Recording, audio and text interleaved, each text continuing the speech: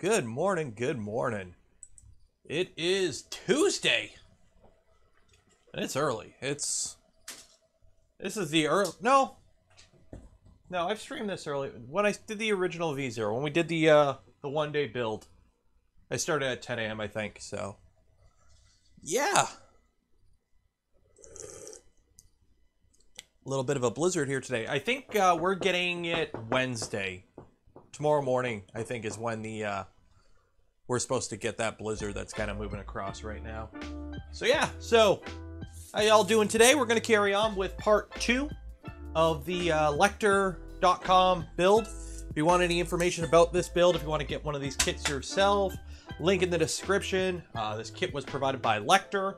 Uh, it's basically a V0 kit. It's got a bunch of LDO components along with a bunch of extras, making a little uh, little bit of a, a pro kit. Comes with some extras. Um, we kit, just for reference, does come with a Kirigami bed mod. Uh, mine did not because it's a pre-production one. But if you purchase the kit, it comes with one of those. So yeah. Uh, like the serial video of Voron printing a rat rig. Yes. So that's still printing rat rig parts. Um, how much time we got left? 74% done.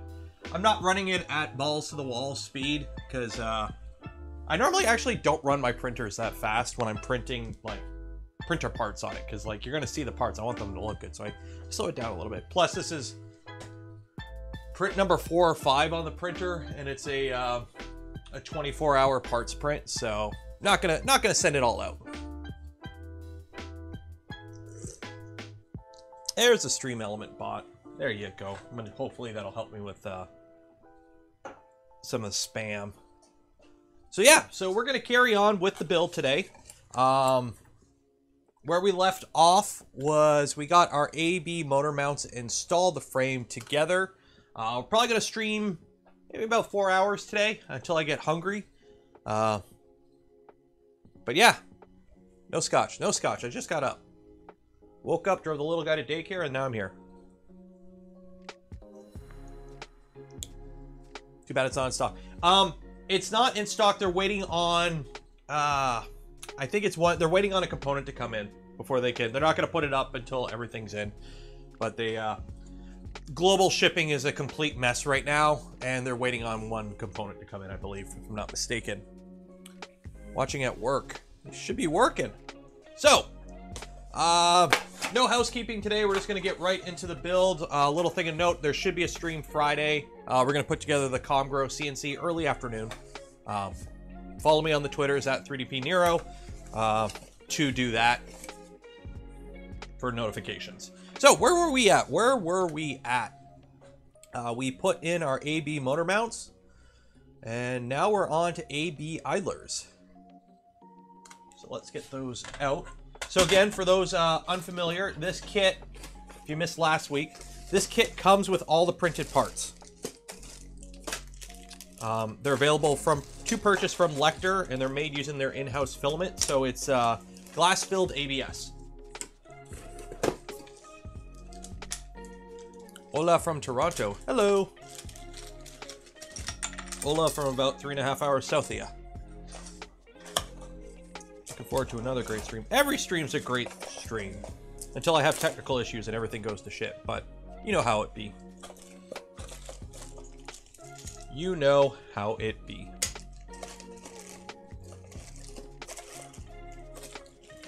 Washers. There we go. So we got the shims, we got the bearings. Okay, so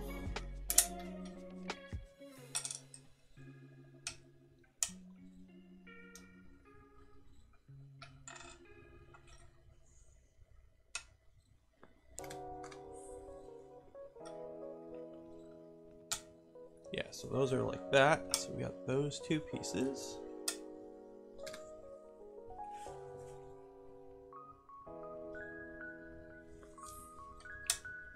M335s. Good morning in the morning. Well, despite the time, I, I'm since I'm doing two streams a week now. The Saturday stream, the normal Saturday stream, is 8 p.m. on a Saturday which I know is late for a lot of the Europeans. So I plan going forward is basically to do a Tuesday stream as well earlier in the day. I don't know if I'll stick with the 10 a.m. time, if we'll like bump it to noon just so it's a little bit more uh, North American friendly. Um, plus, I think a lot of guys in the EU are still at work technically. But we're, we're just going to play around with times for now.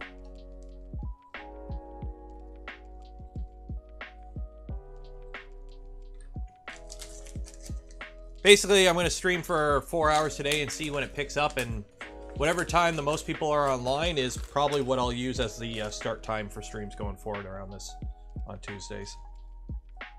5 p.m. there. That's good. So, bearing stack, you know, washer, bearing, bearing, washer. You know how it be. You know how it be.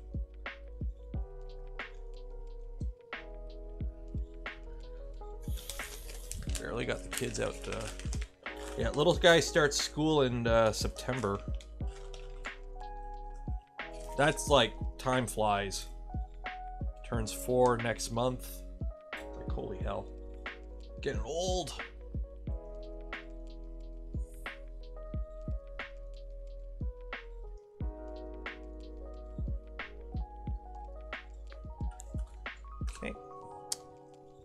So the big one gets the little one, and then the little one gets the big one.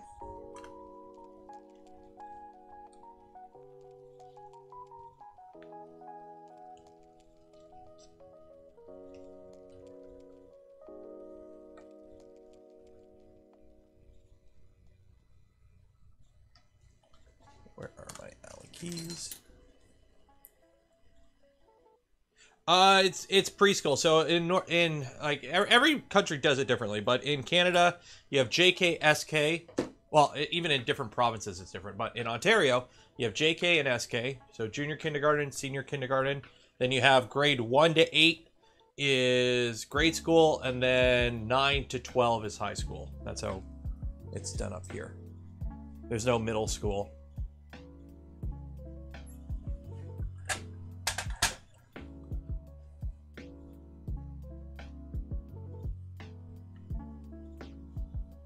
Okay, so time to put these on. So preload four M3 nuts down that side.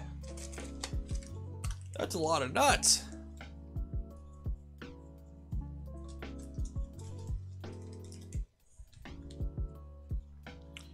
Mike Van D Van Noonen want to build a Voron so bad, then build a Voron.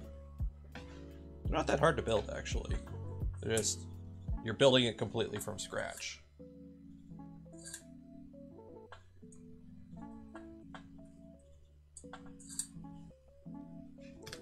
Okay, so this front one, take note of which way the diagonal is to make sure you put the right one on. Pillar in the front.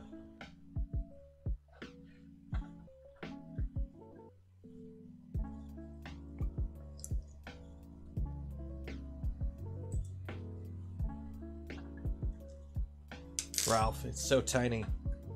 That's what she said. Gets the job done, though.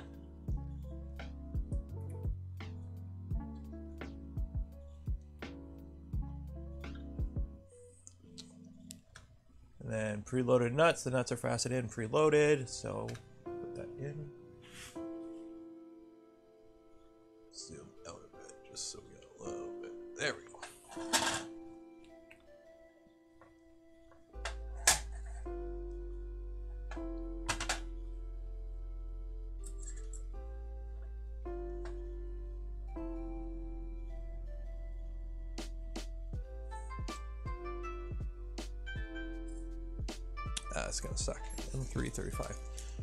Justin, ten dollars. Thank you, appreciate it. Thank you for all the videos. Good luck on the full-time YouTube. Are you running a Heartcade toolhead on any of my builds? I am running one on the Switchwire uh, with the Urkfa. All my other builds are pretty much running just your like the stock setup, no toolhead board.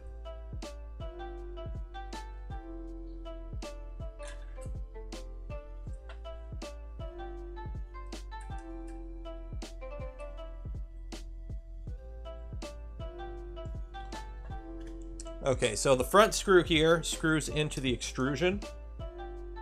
And then the rear screw here screws into a captive T-nut we installed uh, previously in the build.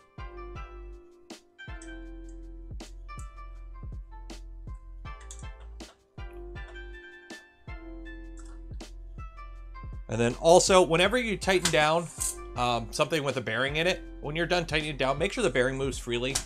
You want to make sure nothing's accidentally binding it up or anything.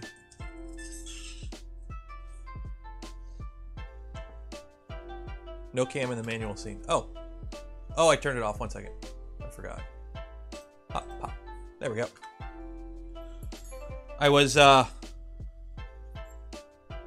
Whenever I'm recording the screen for, like, a video, like... So I, I recorded, uh, some stuff for the Whale 2 review, which is doing horribly, but I expected that. Um whenever I record anything on the screen, I have to turn off the cam and, you know, monitor and everything. And I always forget to turn it back on. Yeah, that review is not doing good, but that's to be expected. It's a, uh, like I fully expected that review not to do good. It is what it is. It's not my normal content.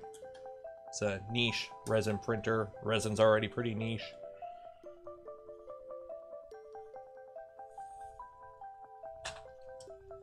But it is what it is.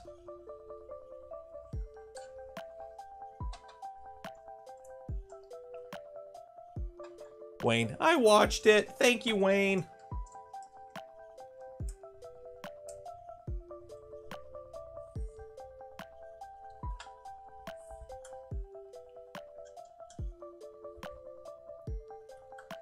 Uh, what's the printer? It is printing a, uh, pull it up here, try it. It's printing a full, it's printing a Rat Rig V Minion. So all the parts for a Rat Rig min, V Minion it's printing.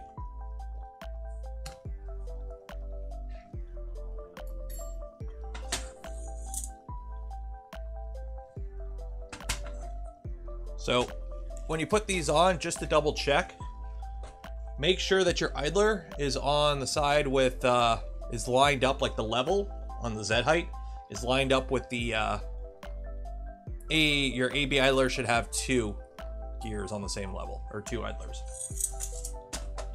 So up, up, up, one, yeah, so we're good there. Otherwise, you're gonna have a bad time. So we put the other one on. Yeah, and there it is. Check your work. Compare the assembled parts of the graphics shown here. Pay attention to the pulley orientation and alignment with the bearing stack. So it looks like we're putting together some Z stuff now. I rotated myself. Oh, there's a GitHub PR thing. I just downloaded the um, parts directly off their site. So if that, if how they came off their site is how I put them on, and then I had to rotate them all. And I'm realizing there's one part I didn't rotate correctly, so I'm going to have to reprint it. But I'm going to reprint a bunch of stuff anyways, because I'm going to reprint some stuff for accent parts in fluorescent blue, um, sparkle blue, and then I need to print also some parts because I think the tool head, the EVA tool head in these files assumes you're using a Dragonfly BMS and a LGX Lite, I'm going to be using a Dragon, probably a high flow one, and an Orbiter too. So I'm going to have to change some stuff around.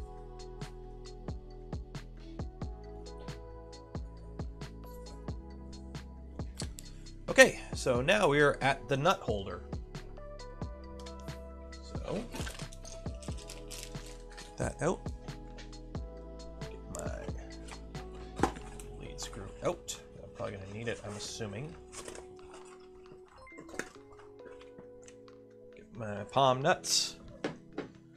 Schlupnut, 20 euro. Thank you, appreciate it. You're killing my work productivity. Time to call it a day. That works. And Risotto, thank you for becoming a member. You guys allow me to th do the things I do. So you guys are all awesome. Is there an orbiter mod for V01? Um, I I don't, I believe so. I don't know for the Orbiter 2. I believe there is one for the Orbiter 1. Uh, don't quote me on that, though. So M312.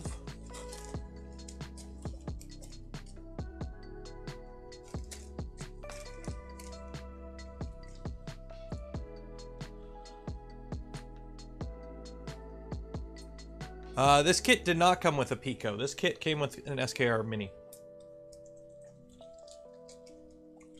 I'm using a Pico that I had that I got separately from Big Tree Tech. I'm using that for the V Minion.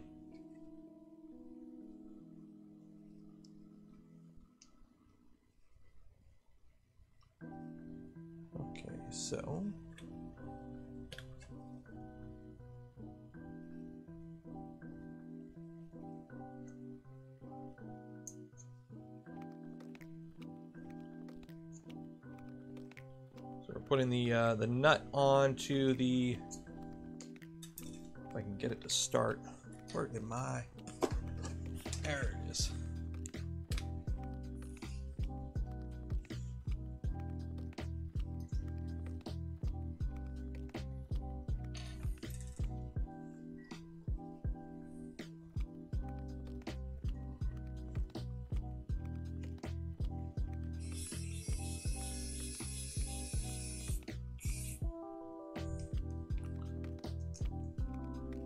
I have an opinion on Fiberlogy filament?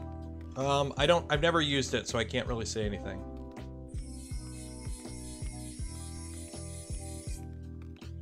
Need to remember, I live in Canada, and some things are just I, either too expensive to use practically, or we just don't have. Someone was saying, uh, what's it? I have an idler backwards? What? Sorry to burst your bubble. Looks when your idler's in the wrong spot. Nope. Define wrong spot.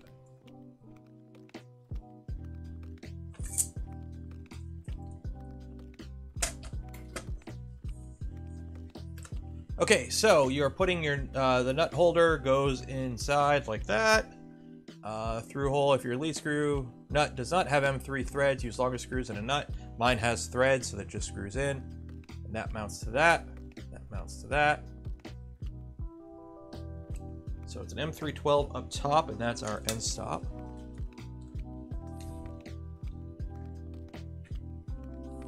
So I'm going to put that M312 up top in right now.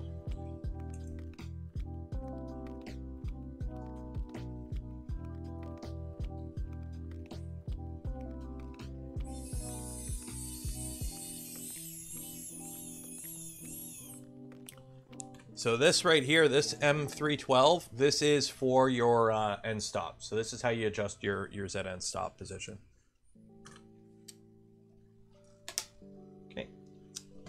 Uh, this mounts on using M312s. So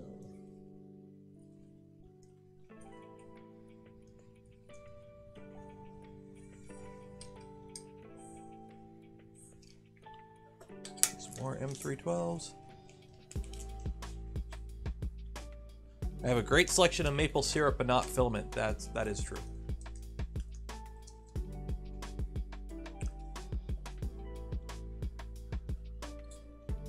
Okay, for starting a 3D printer business, I'd like a Voron.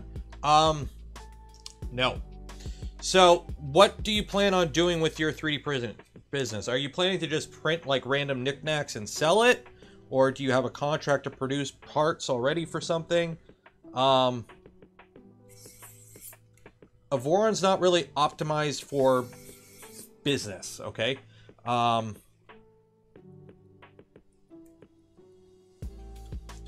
it's a great printer, don't get me wrong, but it's also a DIY printer. So you're going to be responsible for all the maintenance for it, upkeep, everything. It's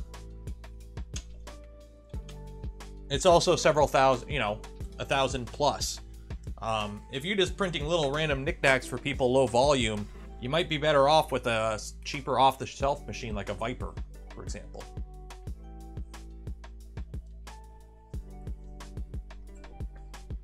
Um, which one though?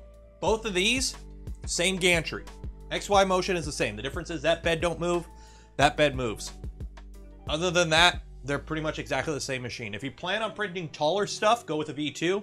If you plan on printing shorter stuff, go with a Trident. Because the Trident um, only is spec to 250 millimeters of Z. You can go higher, But the Trident, as your bed goes up, the whole machine gets more wobbly because center of gravity goes up. Okay, so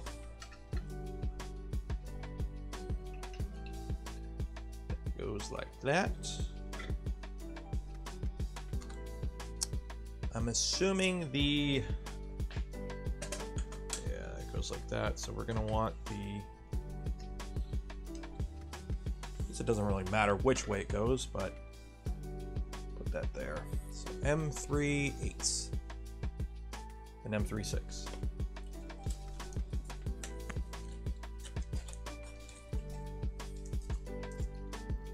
Uh, what's your thoughts on the Blue Rolls kit? I've never used the Blue Rolls kit. Um, it's probably like every other kit from like Formbot or it's probably like the Formbot kit where they just took the bill of materials and threw it in a box. So, where'd I put my screwdriver?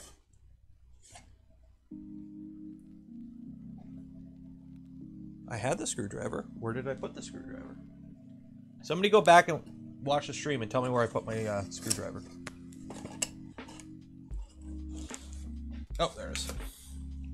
Um, I haven't heard good things. I've had I've heard a lot of people have had like little finicky issues with them. But the problem is a lot of these kits, just some guy it's like walking down the store and on AliExpress and throwing whatever they can get cheap for the bomb into a box. So one kit might be great. The next kit might have a ton of issues.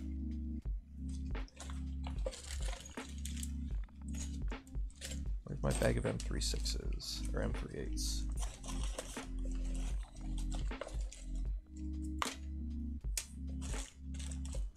Oh, no, I don't have a bag of M38s. I got a whole bloody bin of them. There we go. That's right.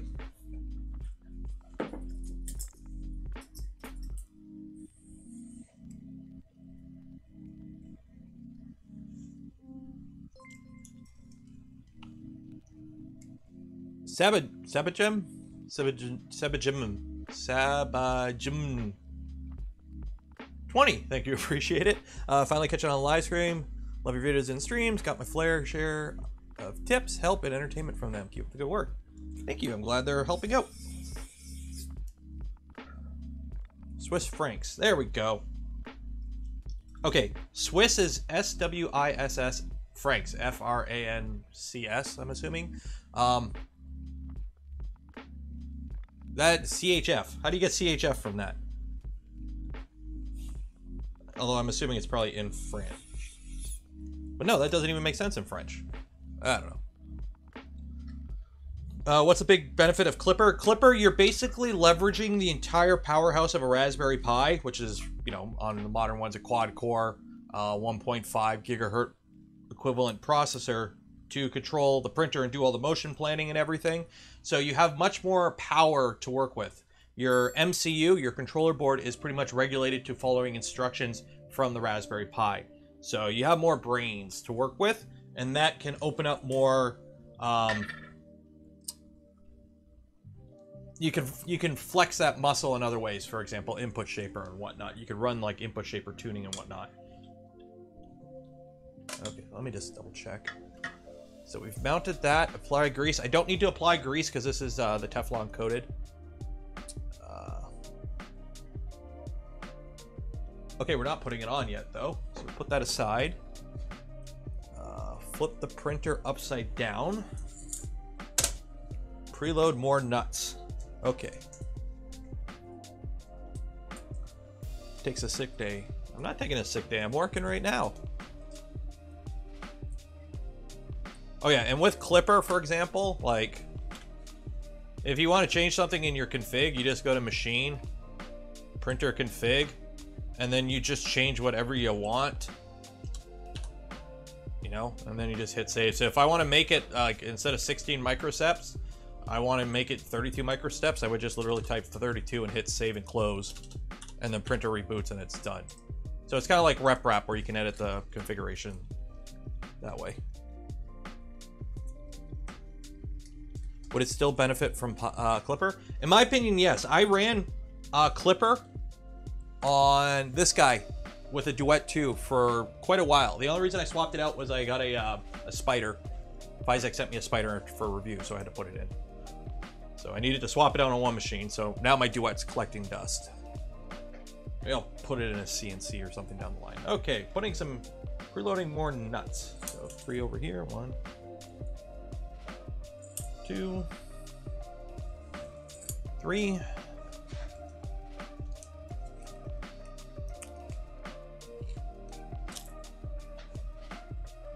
One, a two, three, and then three in the back and three on the other side. Okay. It's a lot of nuts. Any specific board? Depends on the printer. Um, and how many drivers you need to control. SKRs are very popular. Um, that's what most people end up using, some sort form of SKR board for the most part. That's what I've noticed.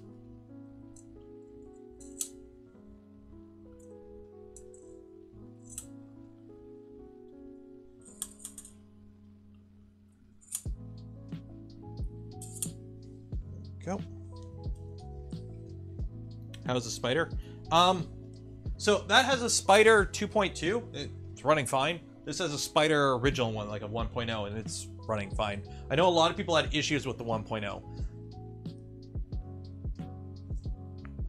But I got mine early, uh, the 1.0, which was sent out for review. So I don't know if I got like a, you know, a vetted one. But I know a lot of people have had issues with their spiders, the first generation ones. They like to go pop. Feetsies, where are the feetsies? There are the feetsies.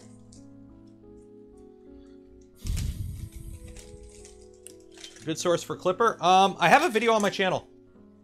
There's a video on my channel, I believe, of installing Klipper on a uh, Duet 2. Or I did it on a stream. I can't remember. I might have done it on a live stream. But I, I did I did record it some way. Okay, where are the feet at? Where are the feet at? tool head, so I'm assuming they're not in the tool head box. Are they in here? Oh, no, they're in there.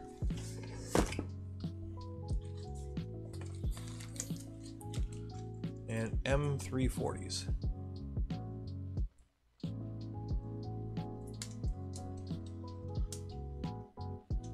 Uh, on Sunday, I killed an SKR2 board by incorrectly inputting 24 volts through the heater. That'll kill it. Yes, that will. That sucks. That's okay. I've killed an LRS. Uh, I got a spare one. I blew up an LRS um, 5 by accidentally putting in voltage in, like the, the mains voltage into the output. So instead of 5 volts out, I put 120 volts in. It went pop. So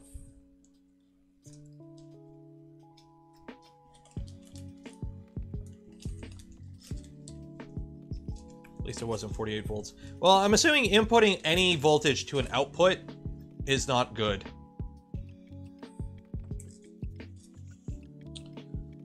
Yeah, that's the thing with the Spider 1.0. It's a QC issue. So either they work and you have no problems, or they fail. There, it's like that's just the thing. Then that's that's kind of shitty, but it is what it is.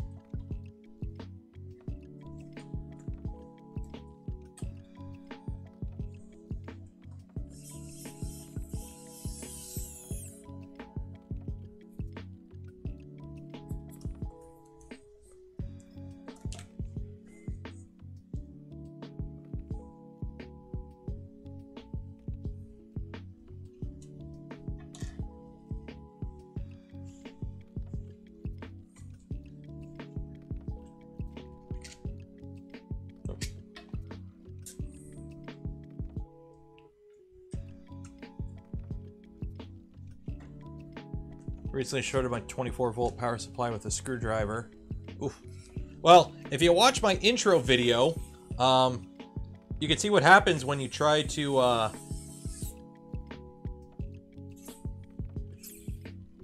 when you try to be fancy and uh, meter out a uh,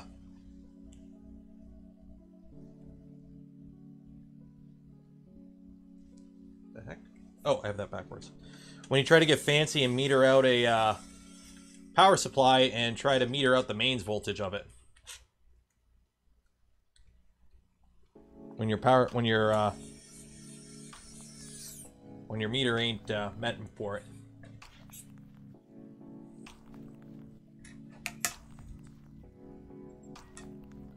Don't work with wires when they're plugged in. Yeah, but how are you supposed to check voltages if they're not plugged in?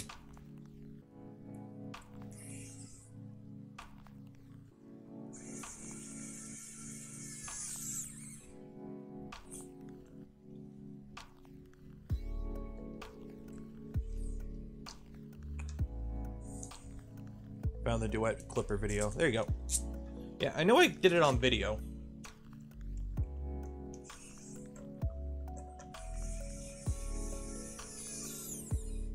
Like, I do like duet hardware. It just... It used to be a lot easier to justify duet hardware because you got RepRap firmware and compared to Klipper or compared to Marlin at the time, you're looking at like a major leap in performance.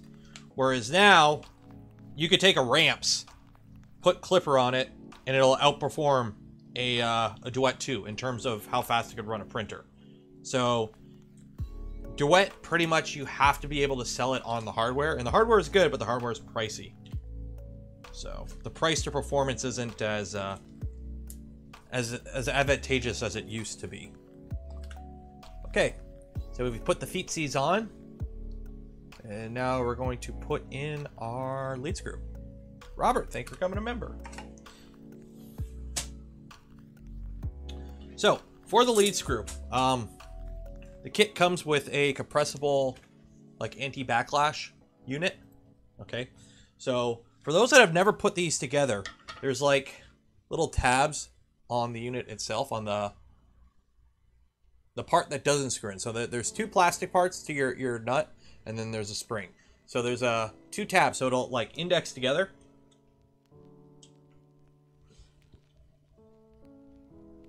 Okay.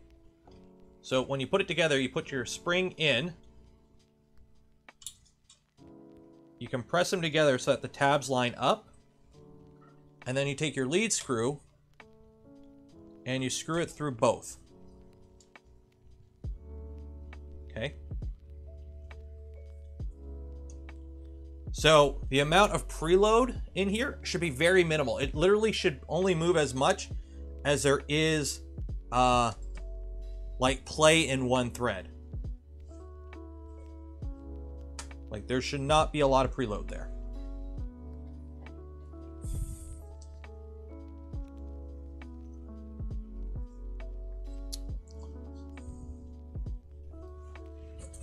What, you have a video on it too, Timit? Okay, everyone go watch Timit's video. Apparently it's better. Just make sure you do it after the stream. Okay, so preloaded, move two of the preloaded nuts to the left of the stepper. The stepper mounts in the center.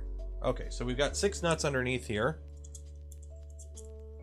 So take those holding screws out.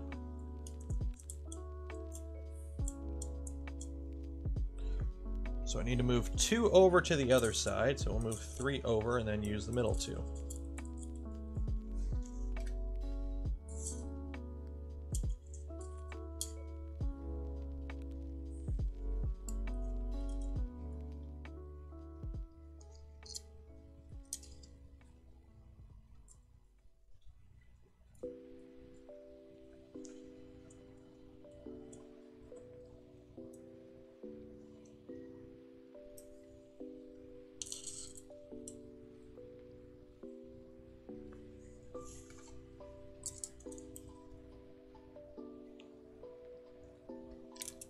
Overhead cam, but you're not going to be able to see it with my head in the way.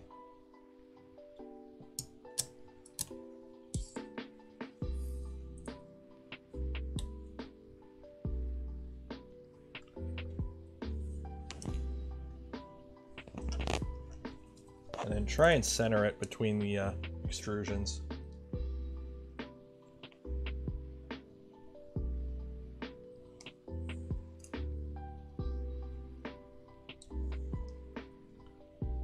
So before we had six nuts just floating in this extrusion. Now we have two free nuts uh, screwed into to the uh, Z motor, and then two nuts on this side.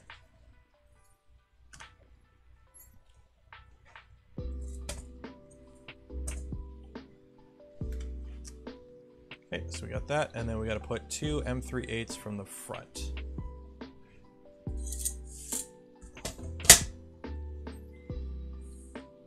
These are going to be fun to line up.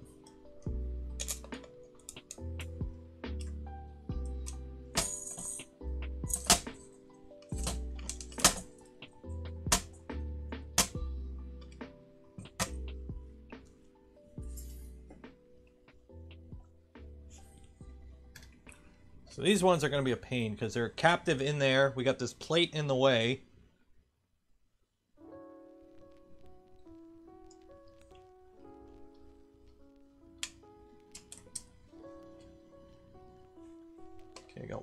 I think.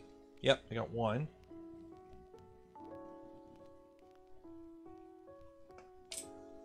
Uh, what are you doing against the tilting bed on the V01? What do you mean the tilting bed?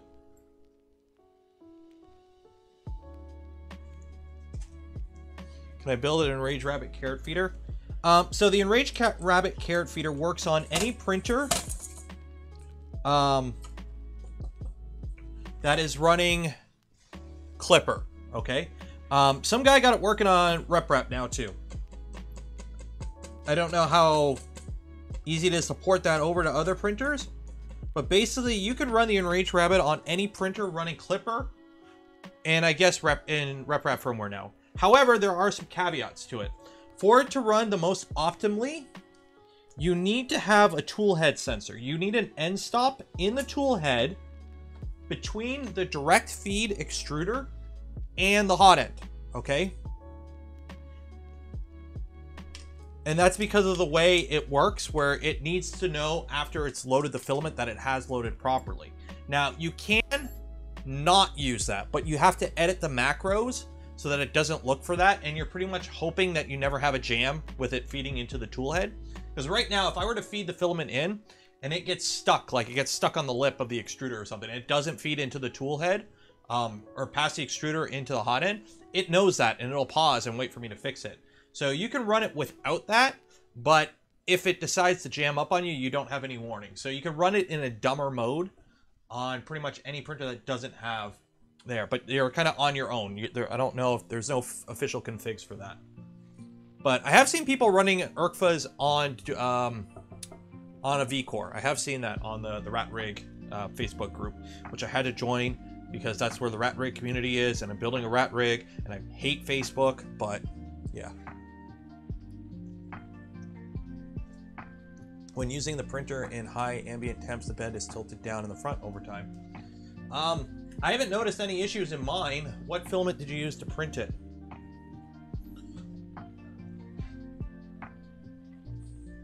And then you could honestly get around that by using the Kirigami bed, which is metal. Okay. So we've got that. So that is mounted. So what I'm going to do now is...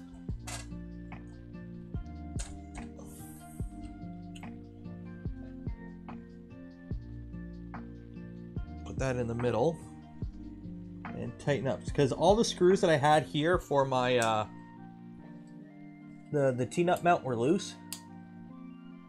So I'm loosening them up right now just to make sure they're loose. To make sure they're uh, centered on the bed. So put in the middle.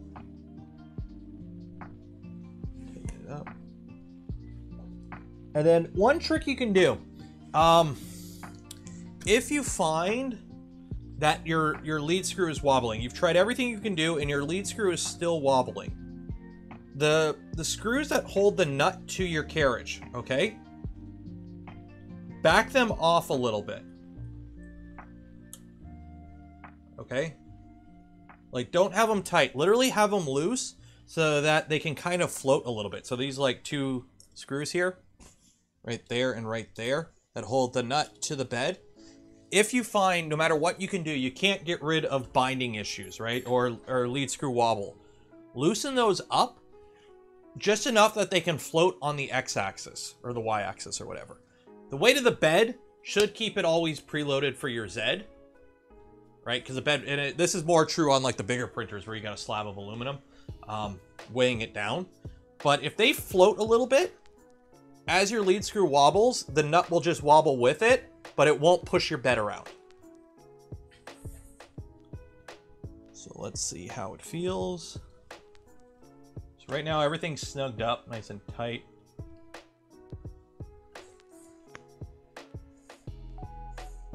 What I find is if, if you do have binding issues, you'll, you'll notice the binding issues at the bottom, essentially. That's where you'll notice it. And I think we're good. It all feels good. Yay. So we're good there. Okay. So we've got our Z leaf screw mounted. And now we're on to the carriage. Yay. put you over here for now. Some carriage parts. And I keep forgetting, I have this power bar I've got to mount on my wall here so that I can plug stuff into the wall. And I keep forgetting to. So, uh... Sorry, switch wire, I'm stealing your power. That took a moment to turn off.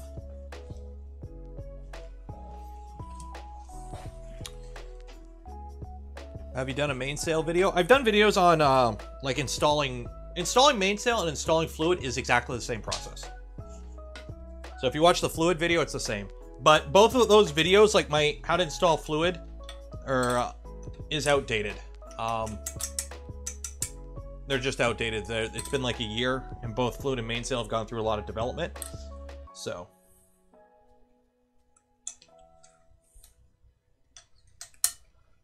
So we've got to put some heat sets in now.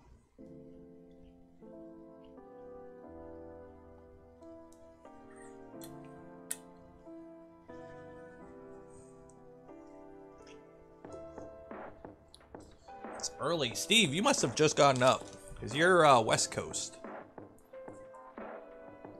What are we at right now? 288 viewers? Cool. That is one habit I am so glad I don't have. I don't stare at my viewer numbers. Like, that's actually the first time I've checked.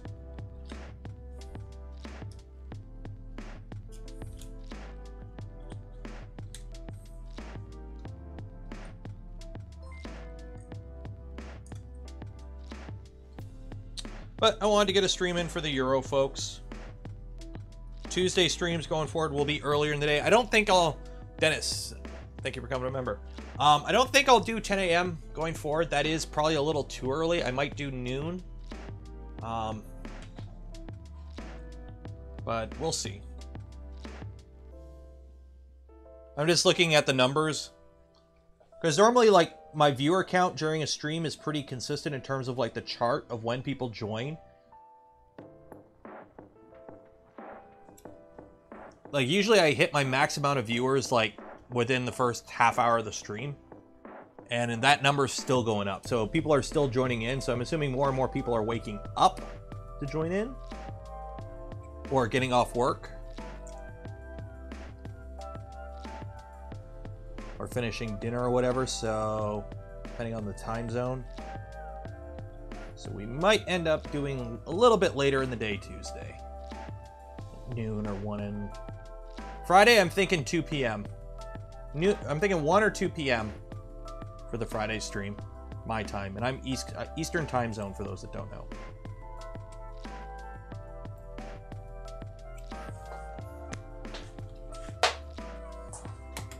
Somebody messaged me when I, a while ago, like I put, whenever I post like on Twitter or whatever, like, oh, hey, I'm going live at uh, 8 p.m. EST.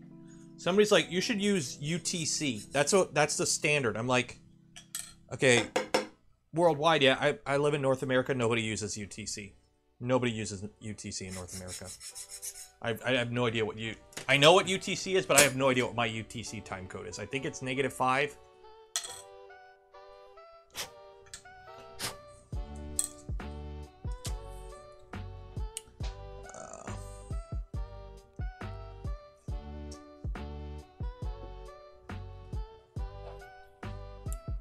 Uh, it would be Tuesdays. The plan right now is uh, Tuesdays and Saturdays are streams. The Saturday stream will remain the 8 p.m. stream. It'll still be the late stream. Um, but Tuesdays, we're still figuring it out a time. Earlier in the day stream Tuesday. Saturdays will be the regular stream. Fridays, I'm thinking of doing streams on Fridays for random stuff, like if I get to interview anyone or the CNC, like one-off streams will be Fridays, I think. So Tuesdays and Saturdays will be long build streams or like series. Uh, Fridays will just be random streams and then videos when I get them done, hopefully one a week. So. Well, here's what I do. I put the stream up a couple hours early, so if you want to know when the stream starts, if you click on it, YouTube tells you how many hours till the stream goes live. Uh, setting up input shaping on a Duet. It's the same. I have an input shaper video already. It's the exact same. Because you're, you're hooking the input shaper, you're hooking the ADXL up to the Raspberry Pi. You're not, there's no controller specific things you need to worry about with input shaper. You can use any, any Klipper controller. The instructions are the exact same. Okay, so we put our heat sets in. Uh, which one is it? Is this one? Okay.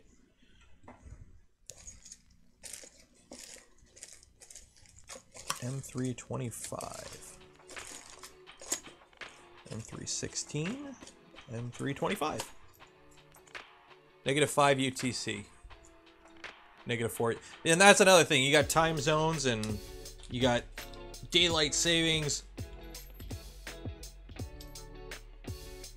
I put the streams live early. Just click on the stream. It'll tell you how many hours till it starts.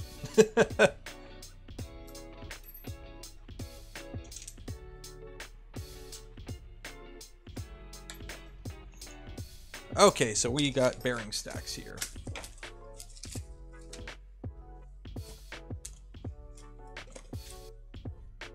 So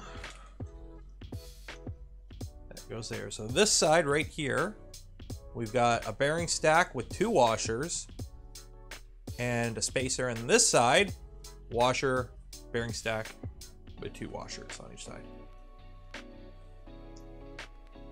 Where is Doggo?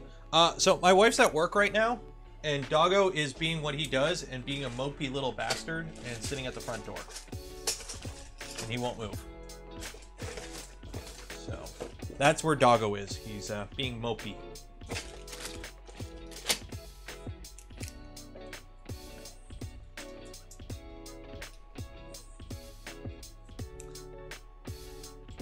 Uh, I'm tuning my V-Minion in config TMC LGX Lite have like stealthChop special zero. Is that okay for PA?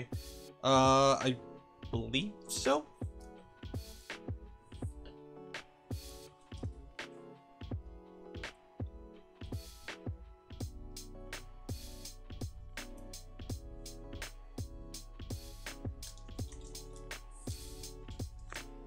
Building that one bearing stack there, building it upside down because it makes it easier.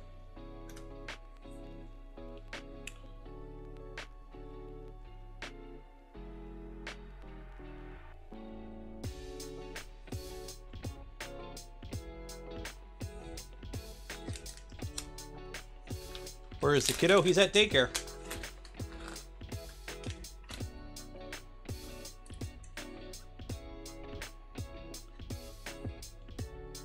By myself right now.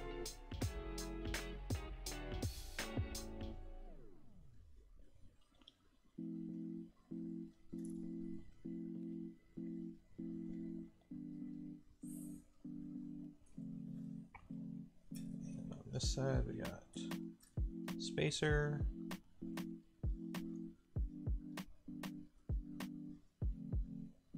Washers.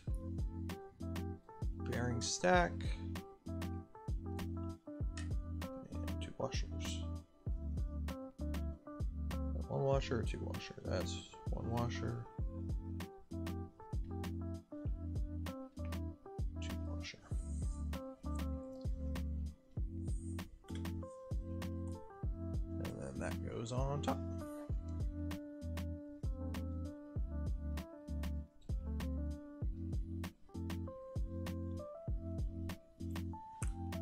1, 10 self tapper. So now comes the part where you try to flip this over without screwing it all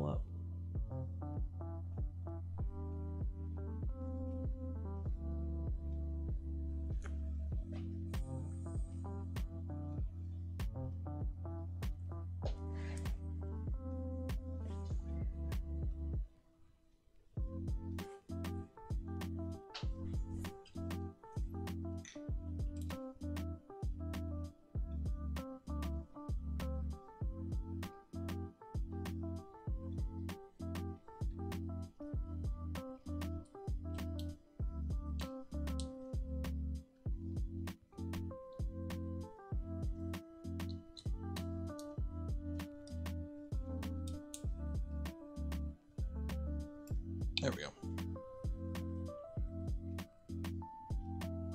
Okay, M2 self tapper.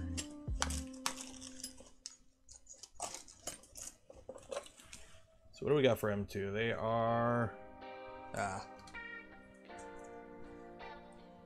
crappy Phillips head ones. Oh well. Yeah, just me and the dog, and the dog's ignoring me because mom's not home. Although he might start freaking out at some point. I'm waiting on delivery. DHL's like, hey, there, there's stuff out for delivery. I'm like, cool. Although, knowing my luck, it won't show up till like 6 p.m. like normal.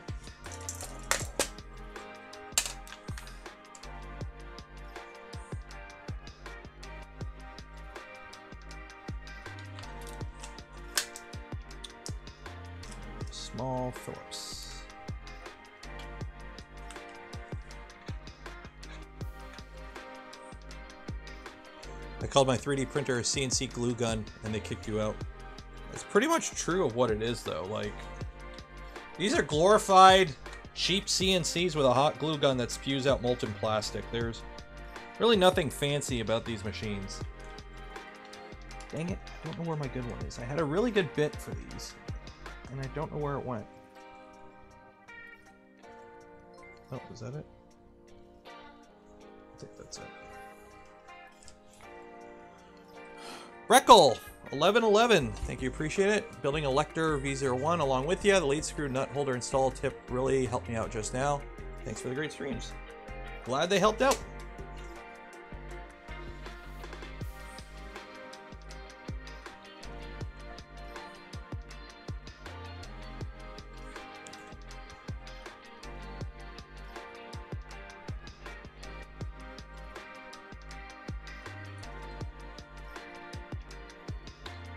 So this screw that goes into here is a self-tapper.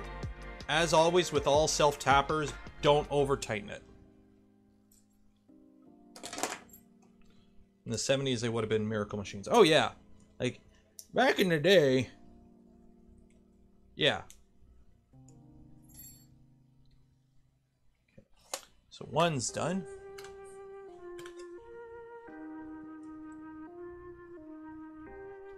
And now we do the other side. Uh, expecting this to be on later this evening for me in the UK. Well, I either do it early, so that y'all can watch when you're not, you know, oh dark stupid out, or I do it early. We went with early today. Although I think I am gonna, this might be too early. I'm thinking. So next Tuesday stream might be uh, at like noon or something.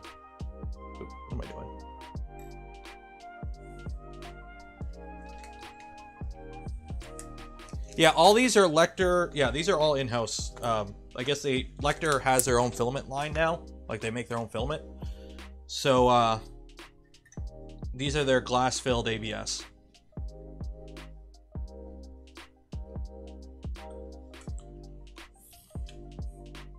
But I like the time. I'm just going off the numbers. I want to try and find a time that works for the most amount of people. That's the goal. Like, honestly, um, I'm free till 6. So, I have like an 8 hour window where there's no. It's just me, basically. Actually, no, that's not true. The wife gets off work at 2, but she doesn't have to pick up the little guy till 6, so... She's got errands or whatever, shopping, she'll go out and do that. Although, I'm supposed to be snowed in for, like, the next two days, so we'll see. Maybe I'll... Maybe I'll finally do the ERCFA video. I know you guys are bugging me for that.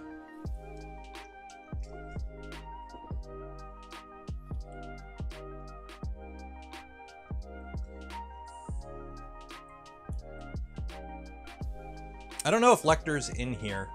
I do want to purchase this. I don't know if they're selling, plan on selling this filament. I do want to get some of this filament. It'll probably be stupid for me to get it because shipping from, you know, Europe to North America for filament, something that's heavy, is kind of not the greatest. But just, you know, using this filament for the build and just kind of, oh, don't screw up, don't screw up. Um, I'm liking like the texture of it, the way it's feeling. So I, I do want to maybe get a spool or two of this stuff just to just to play around with.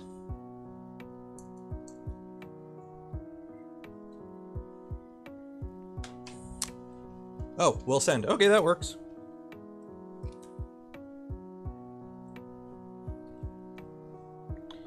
I need I need more food for Toasty.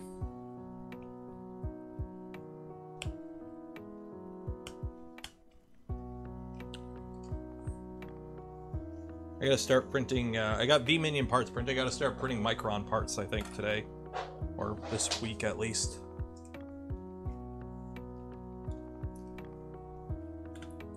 Okay, so on this one, it's the opposite. So that is correct there. Put the top on. There we go. Yep, so that matches. Okay, so we're putting the rail on. So I kind of goofed and I forgot to print off a jig. So I'm going to have to manually line this up. Which is going to suck. But for this rail, how many we got? We got one, two, three, four, five, six, seven. Okay. Don't lose the stoppers. Um, this is modded. So this uses an MGN and it's a 9H or it's a 9H carriage and it, it does work, don't worry. So I'm running an MGN 9H carriage on this. So I'm gonna need some M M3 8s, I think. I don't know, M3 8s might be too long.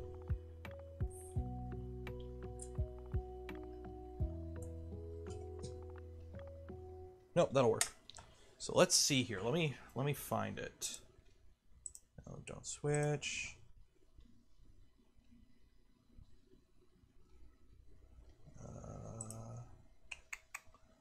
I have got way too many messages. There's Lecktor.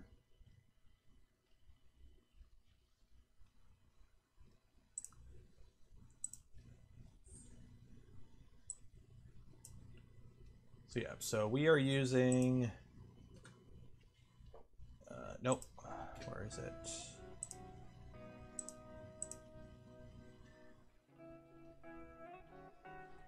So this does have different parts, but that's okay because they're included with the kit, I believe. So we're good.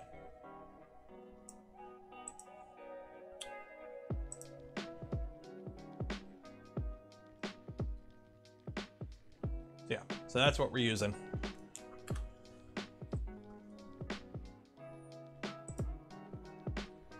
Do I ground my printers? I ground the bed.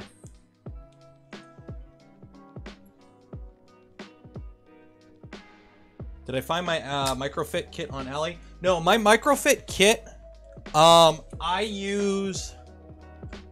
It's not a kit. I built the kit. I bought the individual components off AliExpress ages ago and I just bought like 30 of each connector and just a whole whack load of pins and I use that.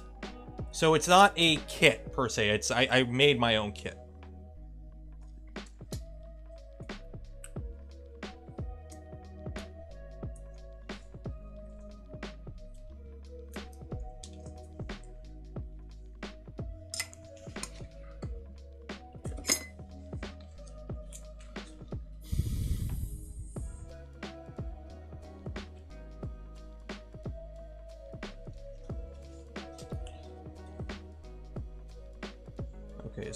Uses M3 six nuts.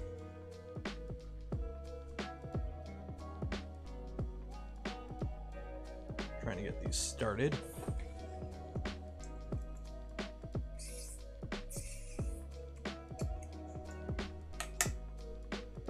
And I did clean up and pre-grease and everything in this rail, so it's good to go.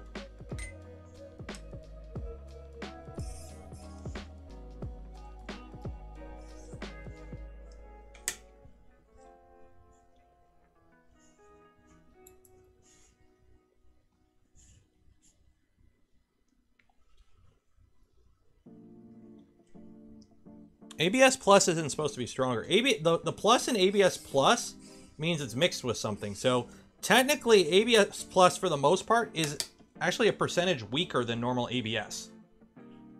Um, but what you get, though, is easier to print. That's usually what the plus means. It's, it's easier to print ABS.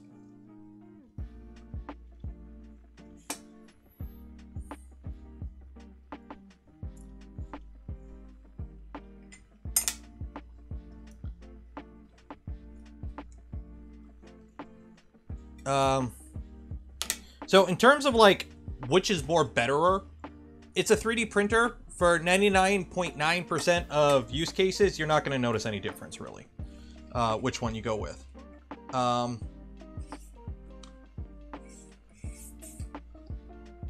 but basically, the difference between good ABS and good ASA isn't much. In, in real world use case in a 3D printer, a printer built out of good quality ABS and a printer built out of good quality ASA, 90% of people won't be able to tell the difference. Like it, you're, you're, it's, it's so close. It's not really even worth trying to figure out which is which. Um, when it comes to ABS Plus, ABS Plus is a little bit more flexible than ABS and ASA. A ASA is the stiffest, I've noticed. The downside of it being the stiffest, if you have a nozzle crash, you're more likely to crack something. So.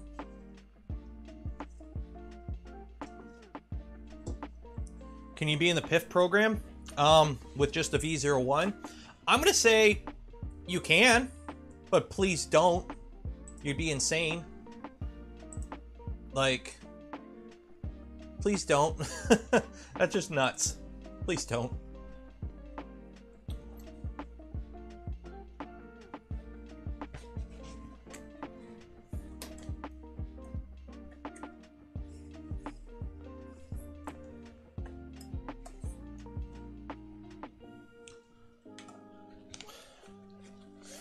Like, yes, you can print every part of a Voron on a V0, but you're like printing like one part at a time.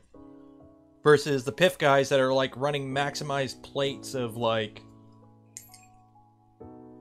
everything at once. Okay, so 25 mil.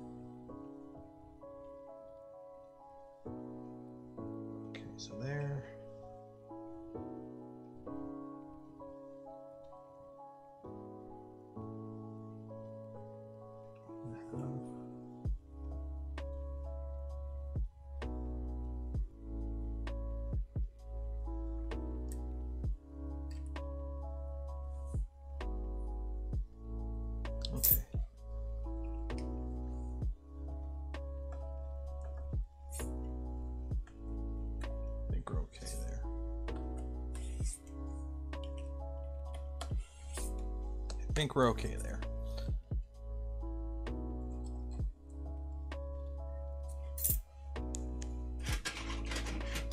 I don't have a, uh, a jig for this because it's mod. So I'm kind of just making sure we're squared up. Within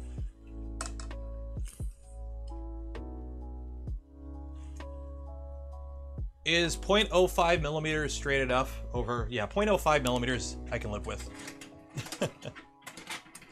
I can live with 0.05 millimeters of uh,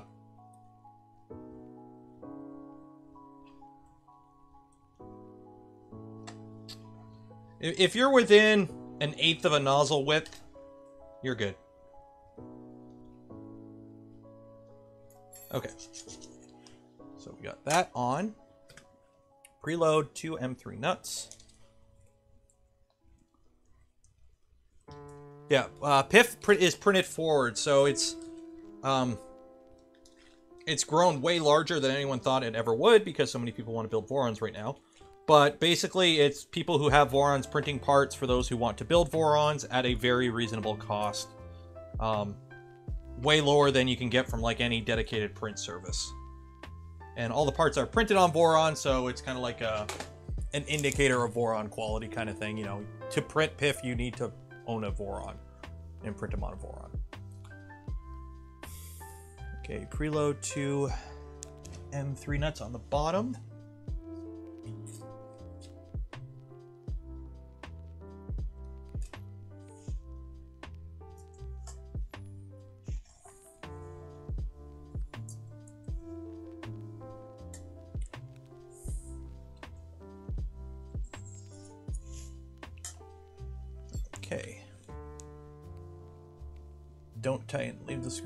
So M312s here. And now we put the ends on.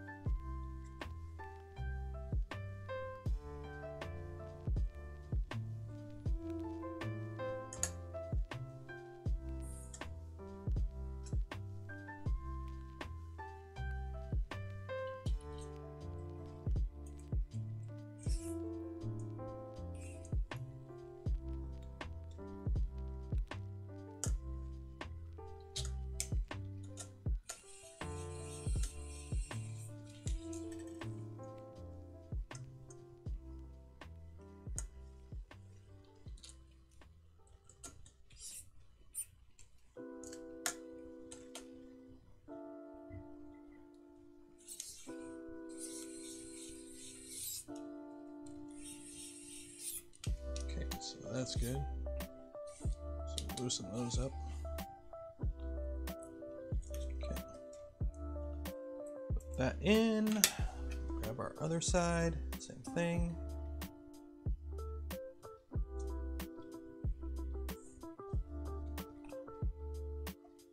So I know this screw has to come out, but I'm gonna put one in just so it is in position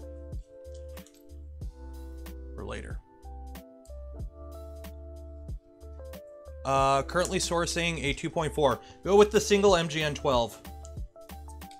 Go with the single MGN 12. That is what 2.4 R2 will be, which is the next uh, update to the 2.4. So you might as well get it now. If you happen to start building before um, your parts come, like, if you happen to start building before 2.4 R2 comes out and you get to the gantry, just use the X gantry, so the XY joints and the tool head parts from the Trident because it's the same. It's the same parts uh, as 2.4 R2. How often do you tighten your belts? Uh, usually once. All my machines use Gates belts. Um, so what I'll do is I'll install them. I'll run a few prints for a bit.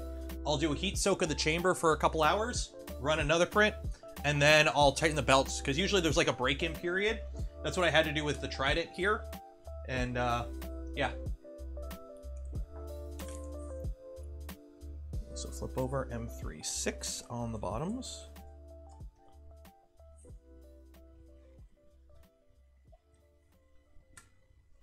Loosen that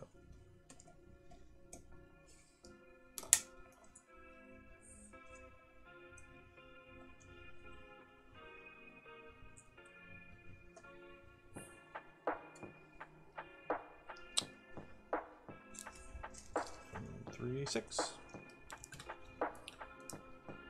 So I'm printing the Vorag, cue the dial on printer. I'm getting bulged corner. Seems like reducing external printing speed improves the slicer. Is supposed to fix that. Does that sound right? Have you run Pressure Advance yet? Or Input Shaper? Because that will affect affect that number in the bulged corners.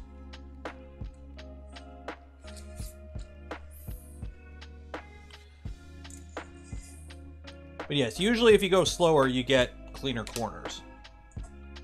But what is slow? Like, I don't know what numbers you're running. Also, one single cube is a horrible way to tune a printer, by the way. Don't don't tune a printer based off a single print. Especially if you're like printing ABS.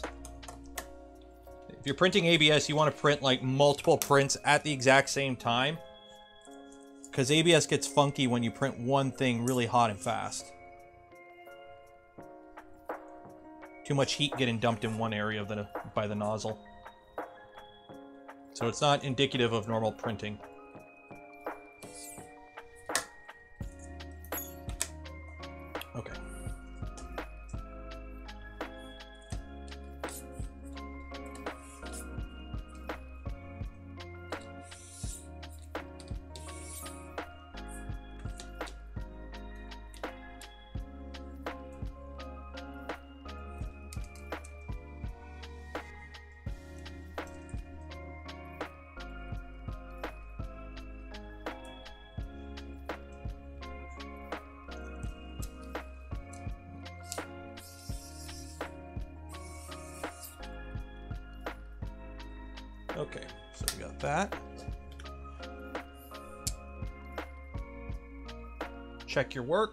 Make sure your idlers are in the same spots, and we're good there. Side view. Boom, boom, we're good. Now we put it in, and we mount them with M2 sixes. Itty bitty M2 sixes.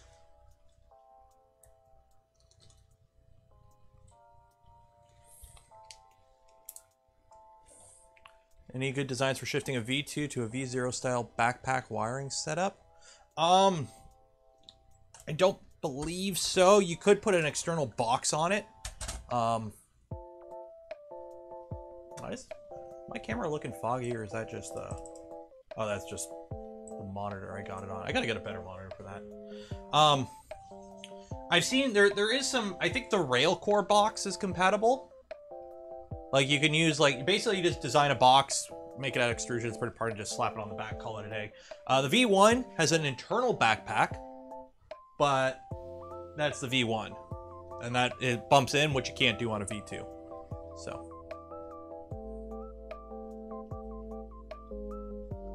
I have zero idea how the gantry moves. Okay, um, so it's quite simple actually. Let me get my uh, old V0 here, which we're going to be doing some upgrades to this in the future. Okay, so this is Core XY motion. Okay, you got you got your AB motors, and it's Core XY. So these motors moving together, okay, is how you get front to back movement and side to side movement. And then when one motor moves and one doesn't, you get diagonal movement. Okay, and then it's the opposite the other motor. Okay, so motors working together and apart, that's how you get your XY movement. How the switch wire does it is it takes this motion system and does this. It makes it vertical, okay? So now you have your Z movement and your X movement, okay? And then your bed moves back and forth underneath. That's how the switch wire works. It's Core XZ. It's Core XY, but vertical. So, you can't do this on a Prusa, where you just kind of lift it up and pull it down.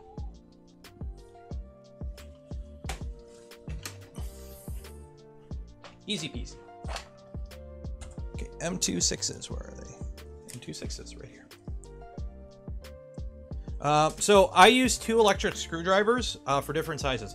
I have an ES126, um, which I like more. It's got more torque. And then I have a WOW stick. I use the WOW stick for the smaller stuff because it's got less torque. If you're going to buy one, get the ES126. I'm just using the WOW stick because that's got the little bit in it. And it's, and it's narrower, so I can get in smaller spots. But for overall use, ES126. The WOW stick is not powerful enough to tighten M3s properly. Put it that way.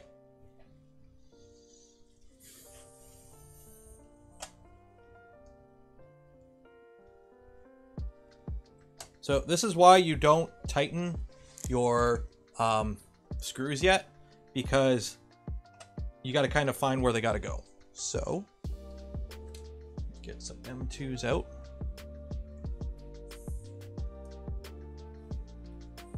What are the benefits to Core Z?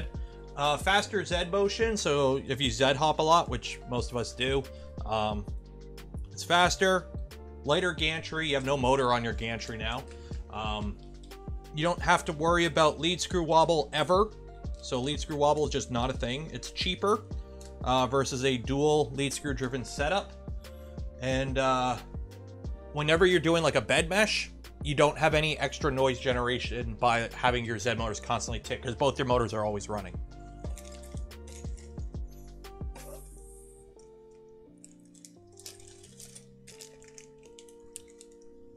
M2 DIN 799.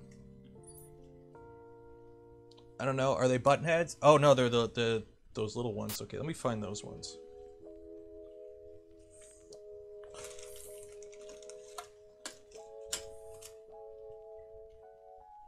Are they button heads or flatheads? Flathead cap screw. Okay. Oh, there they are. Flathead cap screw. Why do we have flatheads there? Well, it has to do with the geometry. Um, somebody is sending me a Kirigami bed, um, but it hasn't arrived yet. If you buy this kit, it comes with the Kirigami bed.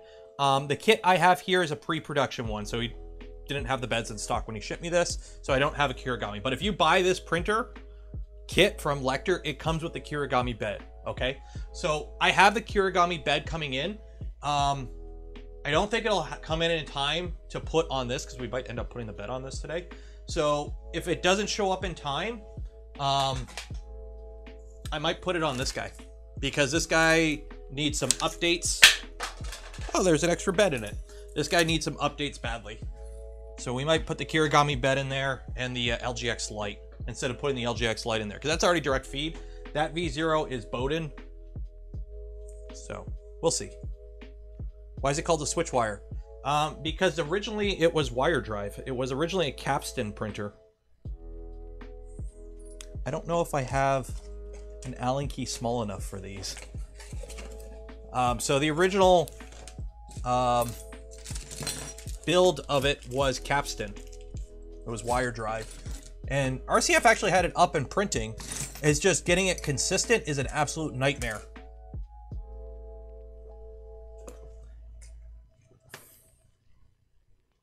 So it was switched to belt. I don't know if I have any. That fit in there? That will fit in there. Okay.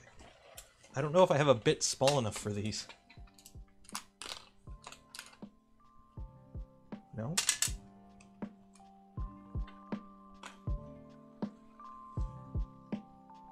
Nope.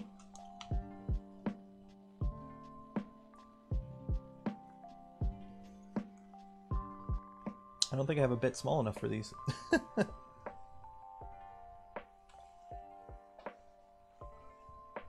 there is a 1.3 millimeter key in the kit.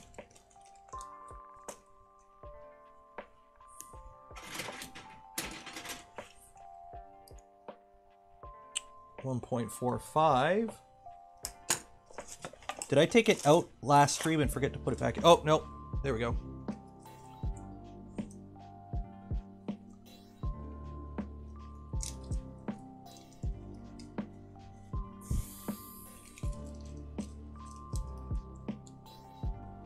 I still have some of the? I have a lot of the candy. I'm hiding it.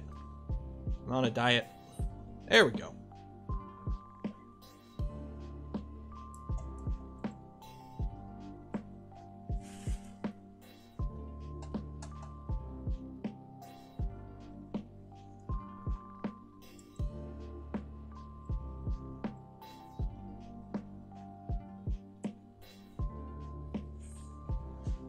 We got to put in all these little itty bitty screws. While I drop them everywhere.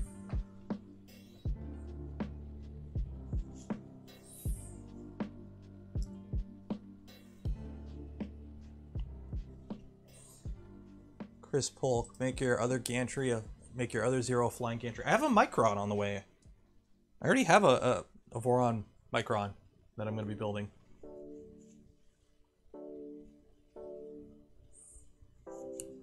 When drunk build. I don't know. If, if you guys get me, maybe when I get a YouTube play button, we'll play it. We'll we'll that'll be the uh, the the the carrot on a stick. Only seventy three thousand or no, seventy two thousand subscribers to go.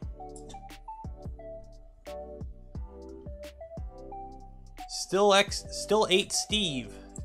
299. Thank you. Appreciate it. Whiskey induced Prusa X. Um, that I might have to be sober for.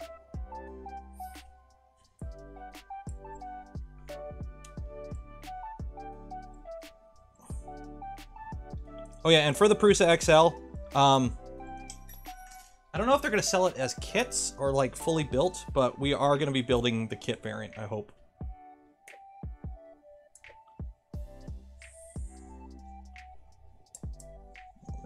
Hate these little screws. like destroying this Allen key.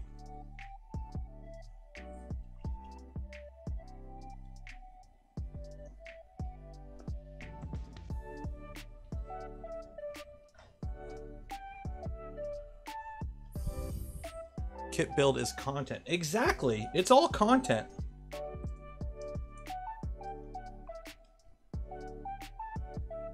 Like, part of me was actually tempted to build this as like a, a build series, like a like an instructional build series.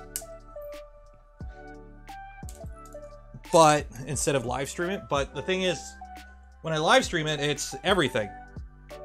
And it's just easy to follow along with.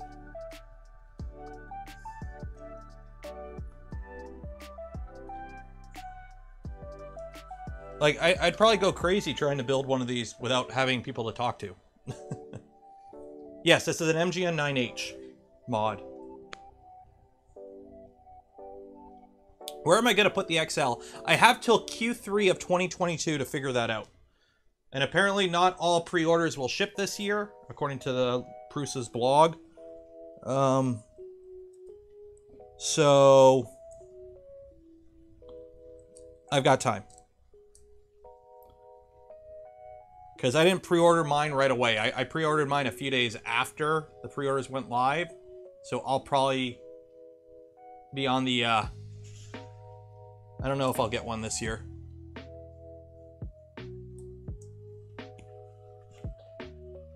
Because I don't think I'm on Prusa's radar to get a, uh, a review kit. I don't, I don't think I qualify for that.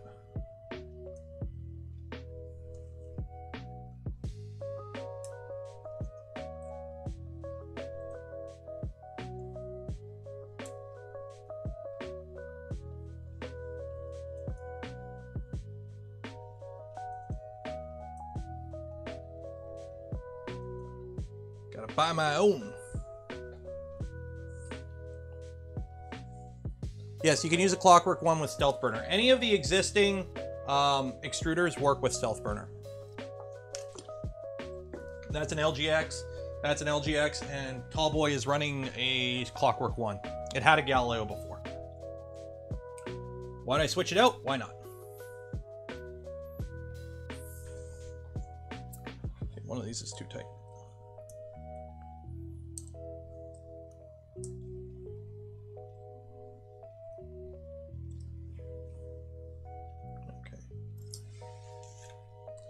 Now, center the extrusion, or center the rail, so it's equal on both sides.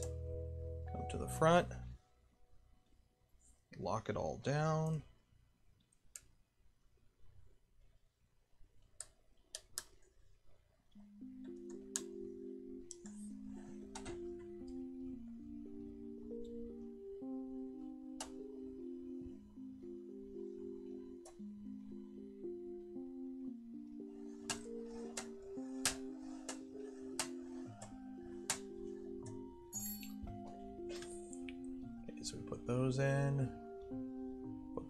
Block in, that block, square the gantry, and put those on top. Okay.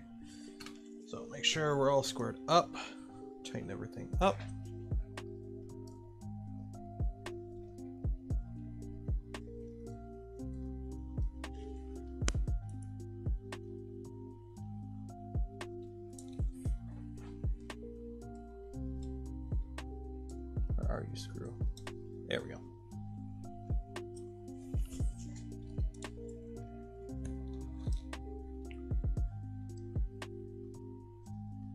No, there is, the R2 is not out yet. There won't be a uh, public beta. I think it'll just be a release. It's basically we're working on the manual right now. What electric screwdriver? ES126 Wow Stick. Wow Stick I use for small stuff. It's got balls for torque. It's got no or it's got no balls for torque. So if you're gonna get one, get an ES126. The only thing I like about the Wow Stick is it's thinner.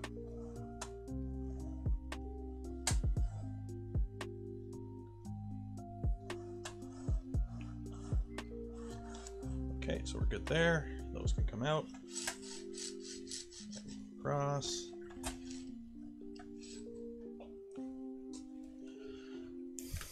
Okay, so now I got to put the M3 on with an M3 in. Okay.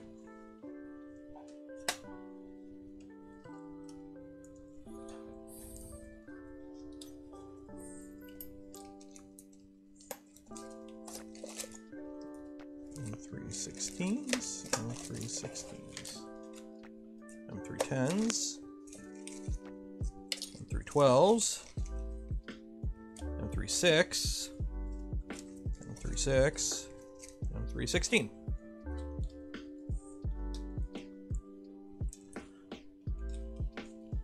Well, yeah, it would make sense for Joel to get one. But it's kind of what he does.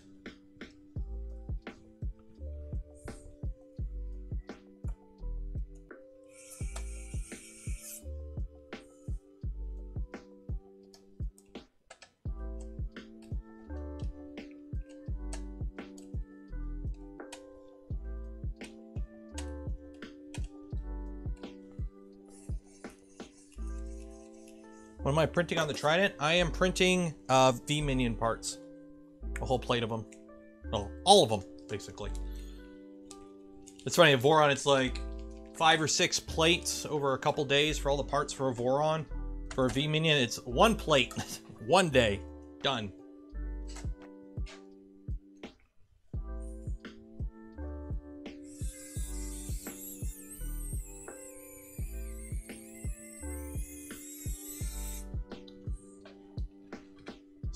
If you're looking down from the top, there's a, uh, this right here is your end stop adjustment for your X end stop and then your Y end stop mounts there. Okay, so that's mounted. Screws used to trigger the X stop. Okay, square in the gantry, move the gantry all the way back until it hits both sides. Boom, boom. Tighten the screws. I did it off the front, but it's same. There we go.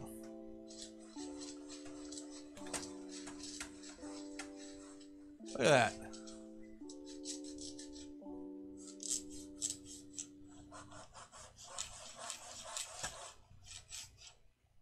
That works. And then we got to put some tops on. So we've got some M3 eights I got to preload, or correction, M3 nuts I got to preload. Looks like on the outside and the top. And then I also have to preload two more nuts on the top for the um, the LEDs, I believe. So it's, what is it? Yeah. So preload two on the inside. What are the inside ones for? Oh, the extrusion. Yeah, so two on the top, Three on the side, two on the inside.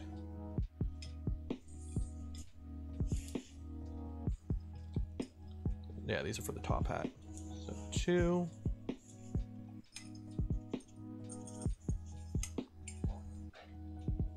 Two. And three on the outside.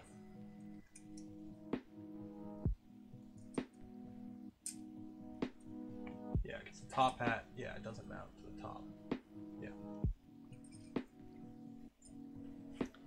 That just goes in there.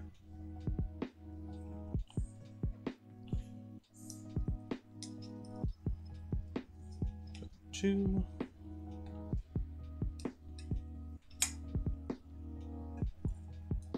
Two.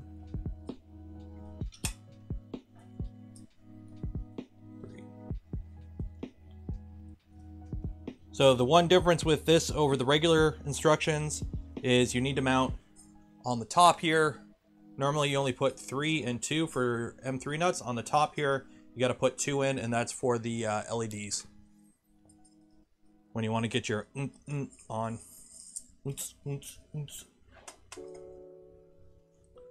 Okay. Put those in, M310s all around.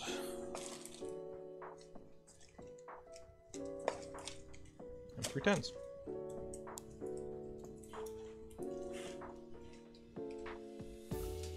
When will Super Slicer get tree support? Probably after Prusa Slicer gets it, because Super Slicer is based on Prusa Slicer.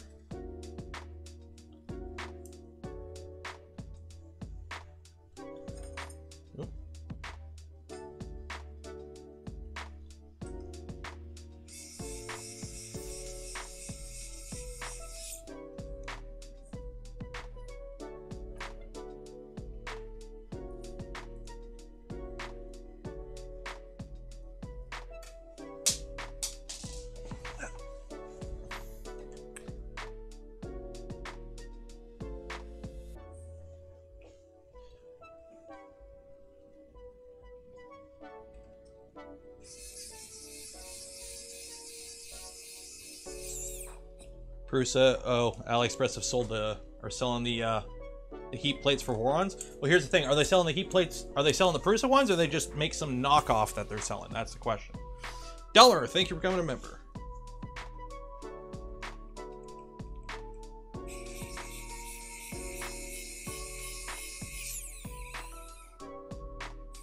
Because with AliExpress, you you don't know what you're getting really half the time, or what they're selling.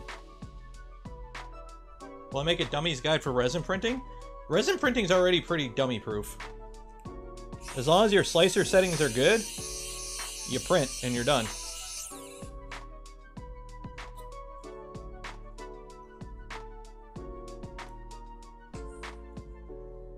Like there really isn't much more to it.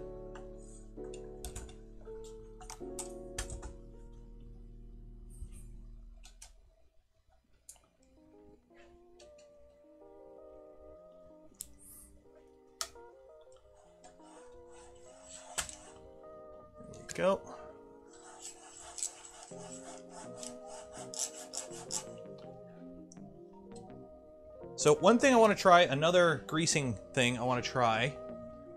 So let me get that and some gloves. So this is another thing I want to try with greasing. Because we all know trying to re-grease these is an absolute pain. Um, let me get a glove. So apparently, here's another trick. We're going to try another trick for greasing up carriages.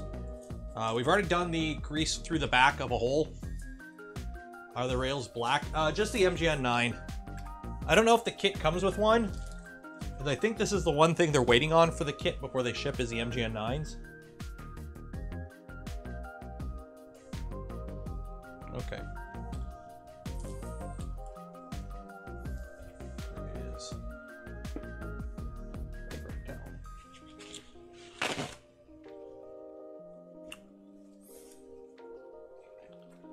So apparently the trick is, um, you take your carriage and you put it over one of the holes with a screw in it. And then you kind of like force the grease up into it. So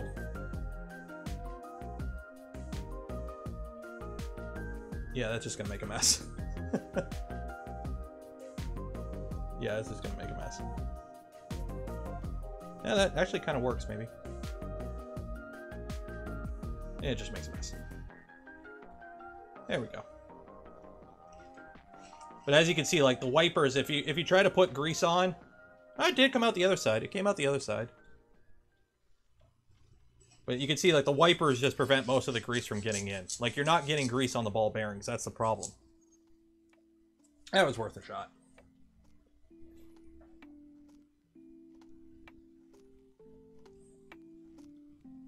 Slather grease on everything and then wipe it off. This way these rails won't ever rust on you. You know they're covered in stuff, so they don't rust. uh, maybe if I had a finer needle that would work. But I only have the, uh...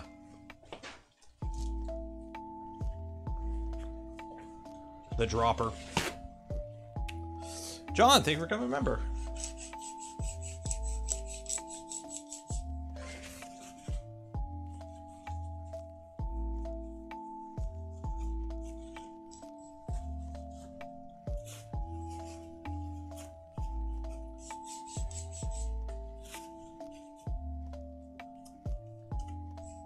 Only grease.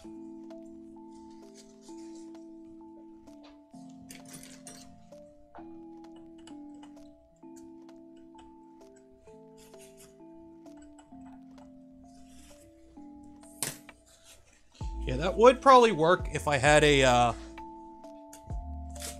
uh, a finer needle for that.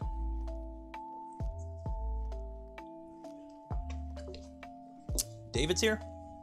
Hi, David. Everyone say good morning, David.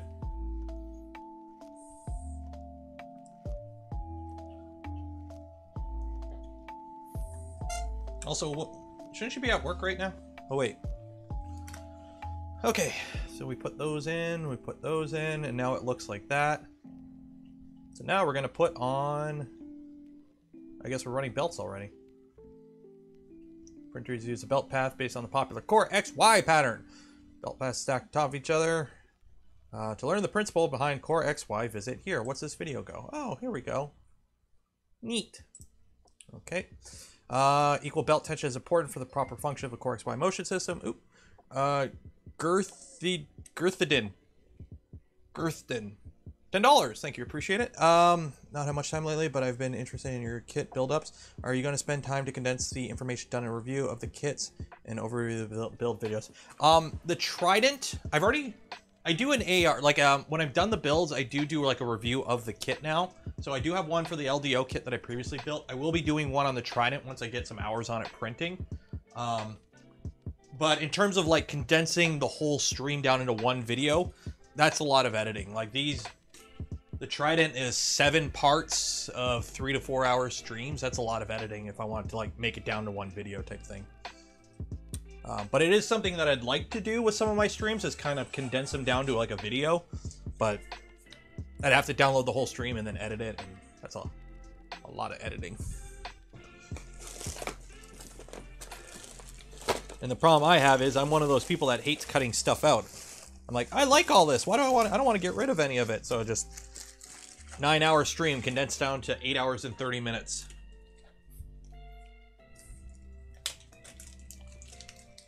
Am I on the ignore list or something? Greg? Nope, you are not on the ignore list. We've got 320 people talking. Well, 320 people in chat. A lot of people talking, so if I miss something, I try to watch, see every comment, but I do miss stuff occasionally. It happens. Okay, so we got to put some heat sets in here. So plug this back in.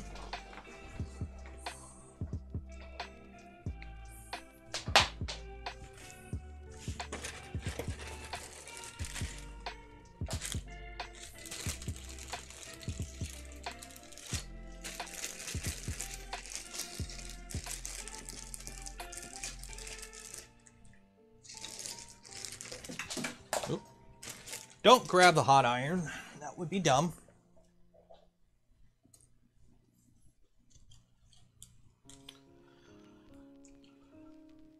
Uh, donation was Smith Greg. When did you... Let me scroll. Oh! Sorry about that. Greg, hope you get an XL review. I hope I do too. I've already pre-ordered one. So I'm getting one regardless. Sometimes I don't hear the uh, notification for some reason.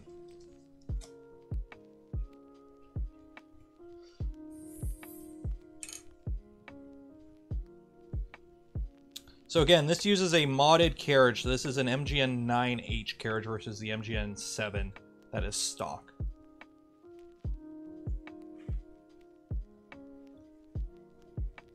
What soldering iron? Whatever the cheapest uh, soldering iron off Amazon was when I bought it like four years ago. And then I used the LDO um, heat set tool in it.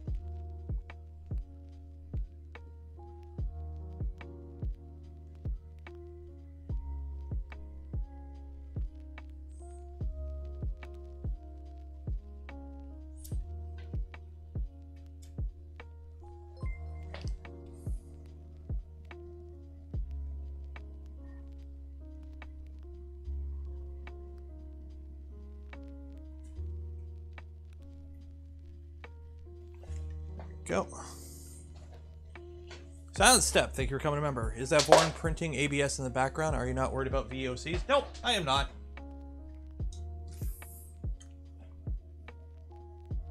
I am not worried in the slightest about VOCs.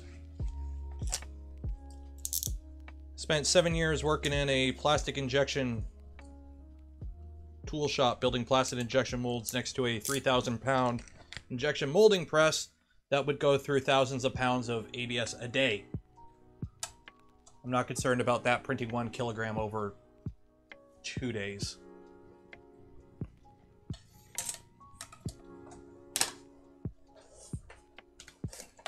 Remember, cooking bacon gives off VOCs. It's all about limits.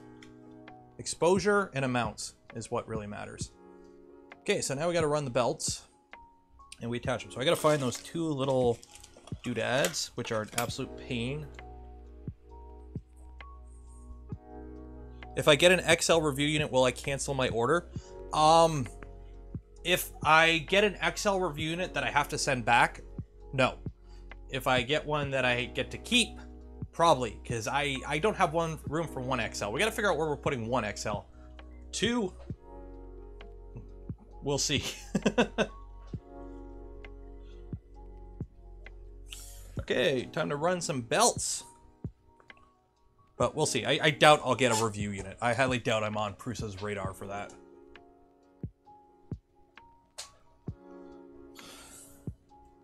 Mmm, bacon. Bacon is always good. So it's really easy to do, or it's easier to do this um, when you have something small and pointy like tweezers or whatever to kind of force the belts along the path you want to go around radiuses and whatnot.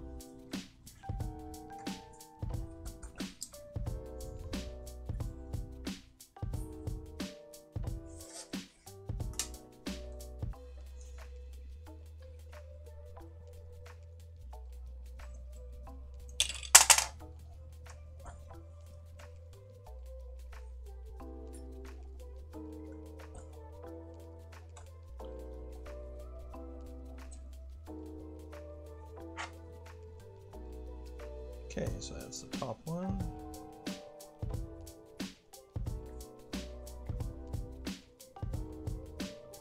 I think they gave me enough belt here. Pretty sure I got enough belt. I might have enough belt.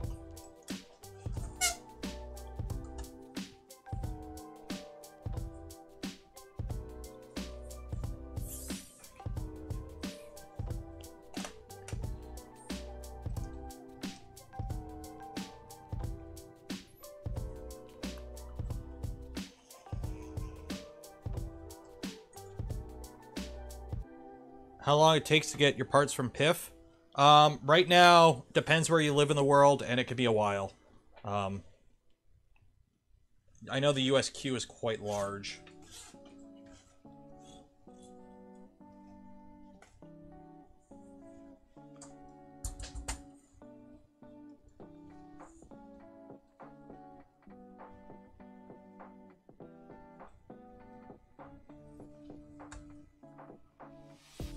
Oh, I, I goofed up. I goofed up. Oh no! I goofed. I did goof. Somebody called it earlier in the stream and I didn't, I didn't see it. That is supposed to be there. Okay, let's fix this. Let's fix this. No biggie. We could fix it. Just like Bob said. Just like Bob said. We could fix it.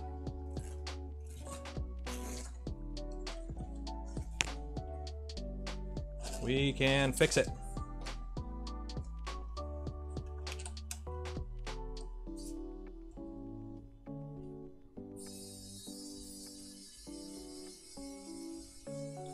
We will make this work. Yeah, somebody called it out early in the stream, and I thought they were talking about the front idlers. I'm like, no, they're good. Nope. Which is funny, because I checked it, but I must have been looking the wrong way. Yeah.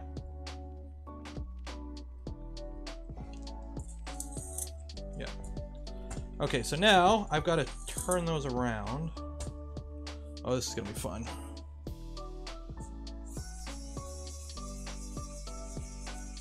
And rebuild these.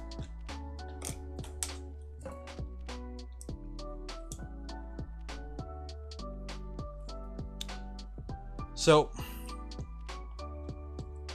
I'm going to do this the lazy way, okay? I'm going to do this the lazy way. Instead of trying to rebuild both of these correctly, I'm just going to go get some spare bearings that I have and just fix and put two here. So instead of rebuilding both stacks, I'm just going to rebuild the one stack. And uh, whoever ends up getting this kit, because this kit will go somebody, will have some extra uh, bearings included in case they need some.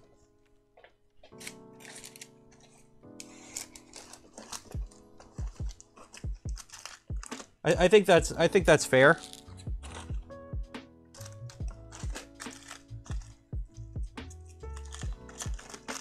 I think that's uh, a fair uh, swap.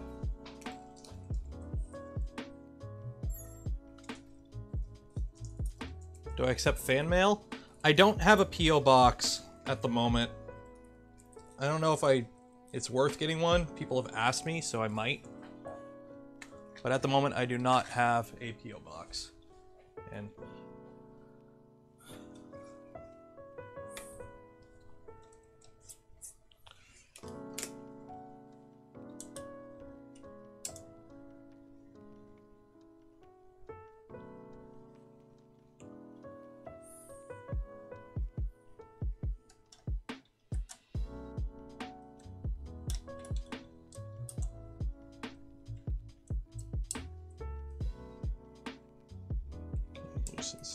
up so I have a little bit of room to work with.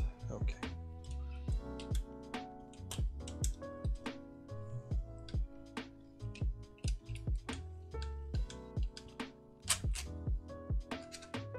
Okay, so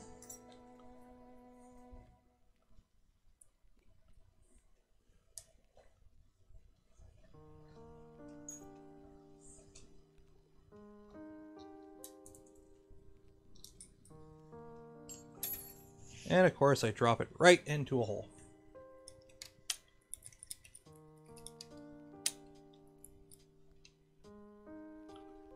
Get that out.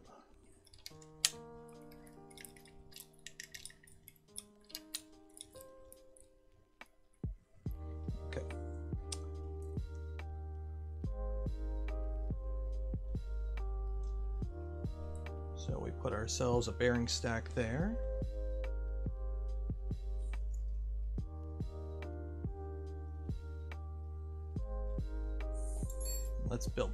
Let's build this up properly. So.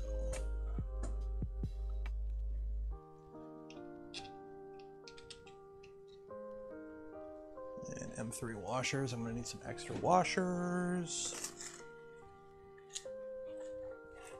Two extra washers. No, not M5 washers. M3 washers. Okay.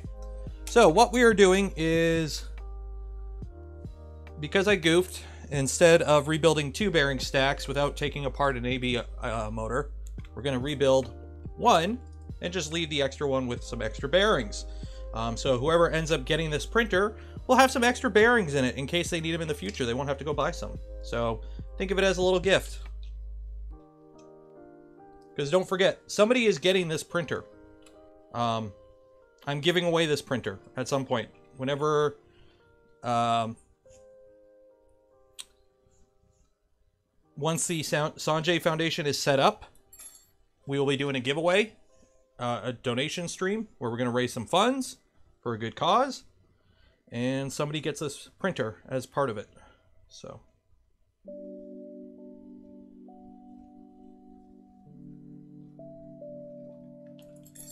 I wish I had my tweezers for this.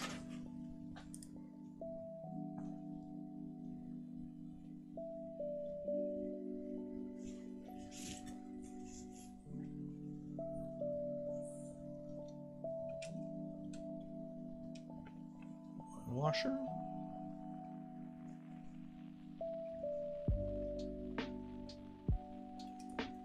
Two washer.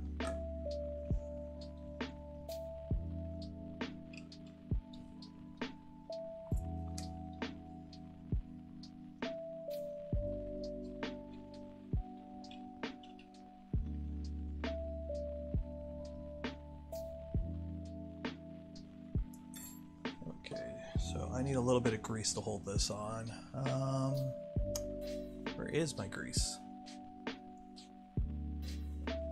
Should have some grease around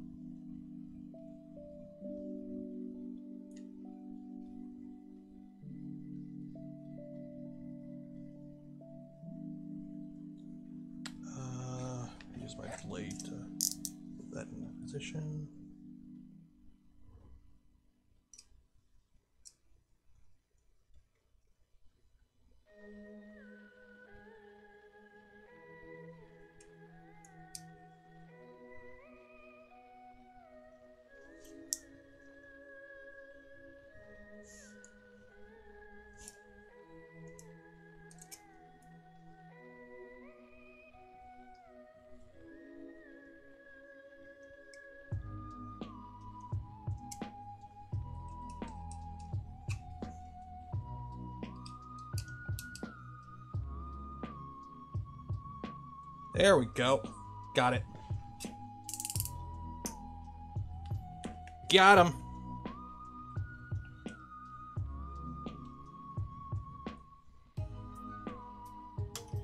We're good. We're good.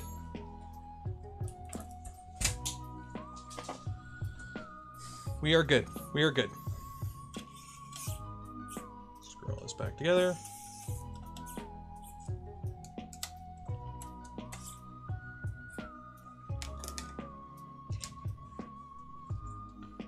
Where'd put my Allen key? Allen key, where'd you go?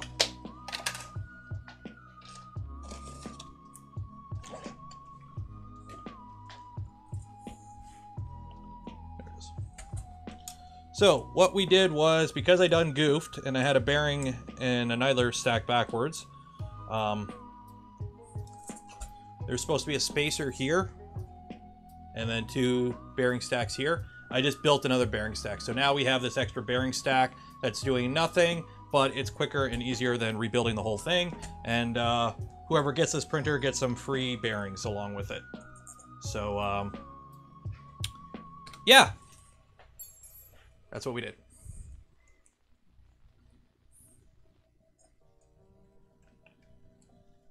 So it's like when you buy a shirt. You know when you buy a button shirt and there's an extra button sewn on the inside in case you need it?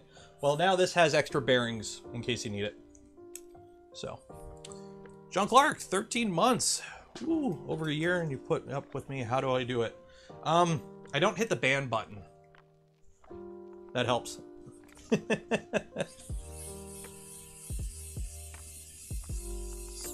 I can't believe it's in that long, honestly. Time flies when you're having fun. I just had a quick look at the Duet 2 Klipper. It seems easier to get a different board and start from scratch. If you want. Like, all you have to do really is, uh... The main thing is you have to, uh... What am I doing? Okay, that's the top. Is you have to put it in, uh, developer mode to flash it.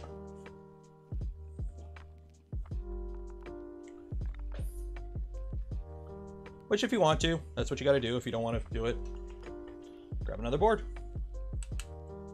Also, the 2206s, the 22, uh, while they are nice drivers and I really like them, they do lack a lot of the, the, the creature comforts of TMC 2209s, for example, like stealthChop 2.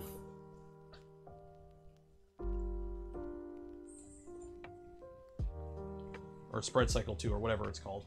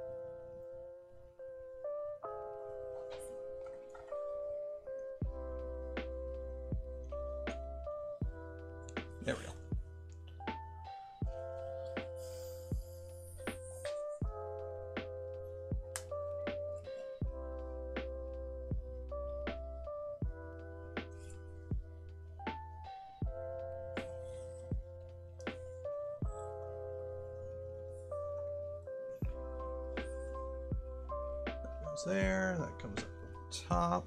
That goes over that idler. Okay. So that's that one. Okay, so now we can continue on where we left off.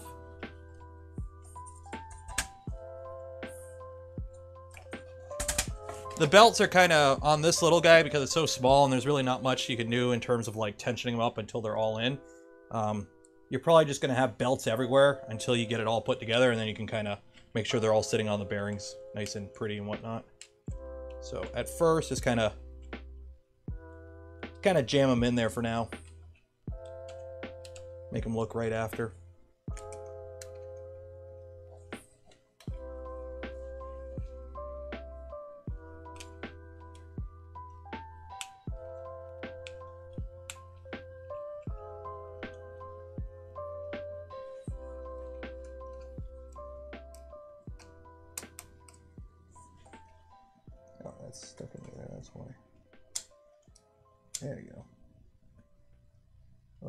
I had my tweezers right now.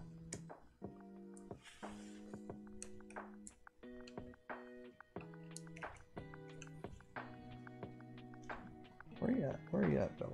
There you are. Get out of there. Come on. I'm just gonna go on Amazon and buy like a 20 pack of tweezers and just put them everywhere so I keep don't keep losing them.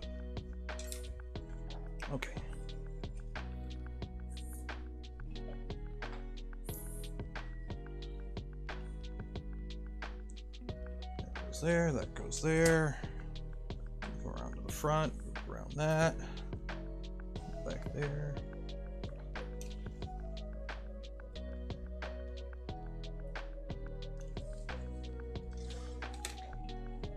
You hop over, rotate, rotate, pivot. There we go.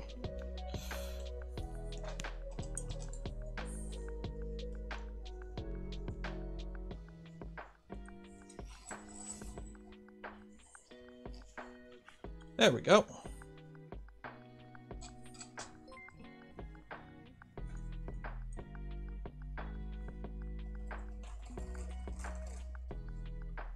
Uh, Anton, BGN $5. I have no idea what that is, but thank you. Appreciate it. Uh, check the orientation of the top extrusion. As far as I remember, there are no nuts at the top. There are because this uh, build, part of the kit is LEDs that mount up top. So that you do need two nuts up there. So we have two on the inside uh, for the top hat, two on the top for the LEDs, and then three on the outside for the uh, for the uh, panels. So it is correct. Don't worry.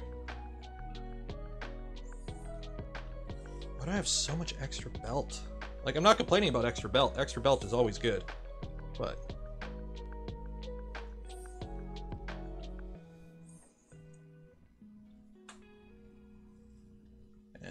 Tensioned the same too. That's good. Okay, so those are all the way in. That's good. So now the fun part.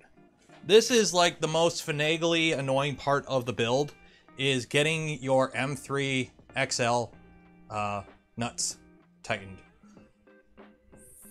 Like they're just a pain, unfortunately. There's really no getting around that. Uh, Merv, $10. Thank you. Appreciate it. Big pack of tweezers. Big pack of tweezers. Bulgarian Lev. Okay. Oh, that's cool.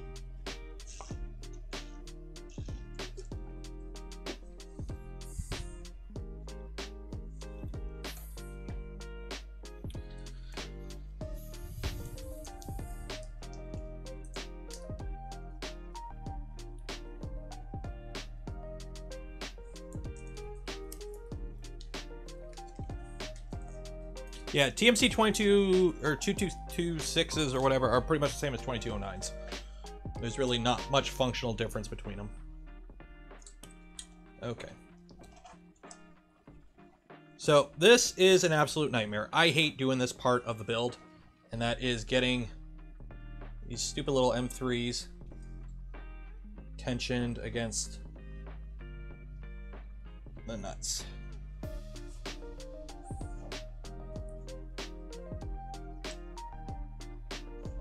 Every time I do it, I end up stripping one of these and it never comes out good. Now, luckily I have spares. I've got oh, like a 20 pack of these M3 nuts. So if I do screw them up, I got backups.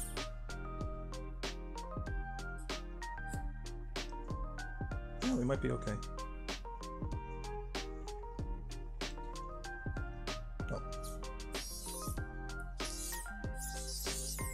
Oh, we're good. We got him. Got him. Got one at least.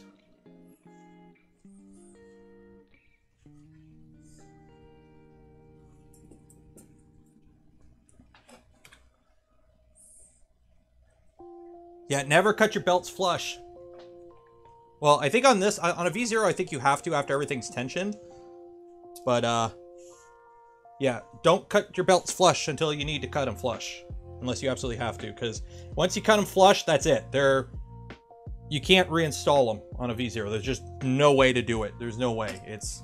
Well, there is a way. You, you take off your front idlers so that you can have tension, and then you tension by putting your front idlers back on.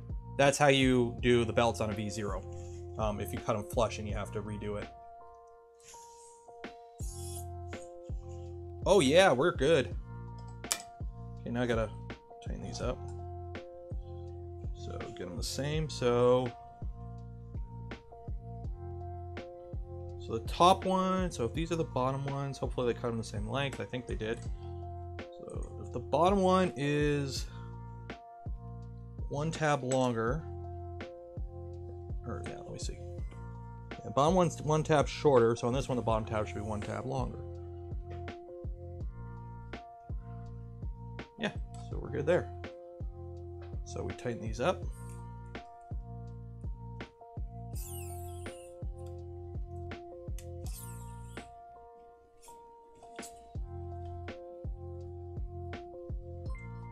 And I think that should be it. That's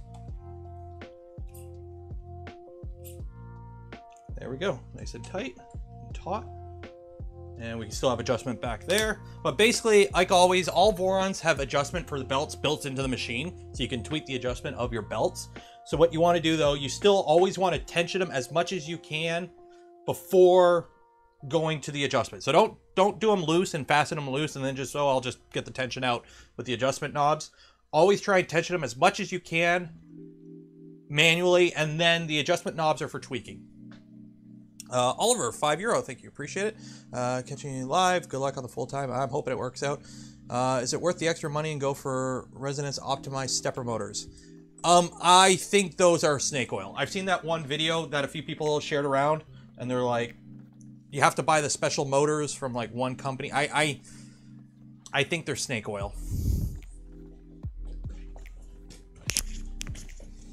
I, I, I don't believe those are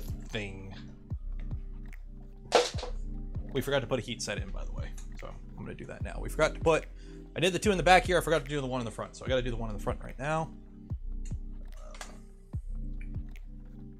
So while that's heating up, how do I hold this on? Yeah, so we've already done the belt path. M36. So let's put this on. Let's mount this.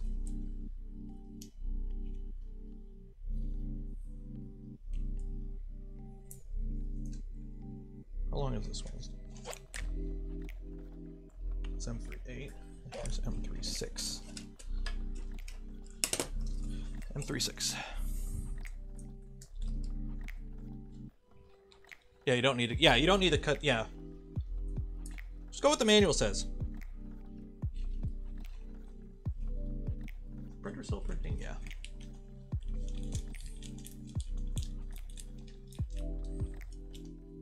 What Super Chat is? It's basically donating. So on uh, Twitch, you can gift subs. On YouTube, you can't gift subs yet. Apparently that is coming though. Or gift memberships, I guess, since it's YouTube. But on uh, YouTube for donating, it's called a super chat. So you you you donate a fixed amount. I think you can talk more on to you know say more. You got to pay more, pretty sure. But it, then it pops up like how Oliver's comment there is highlighted, and a little thing pops up on my screen here because I have it all set up for that that dopamine response. It's what plants crave.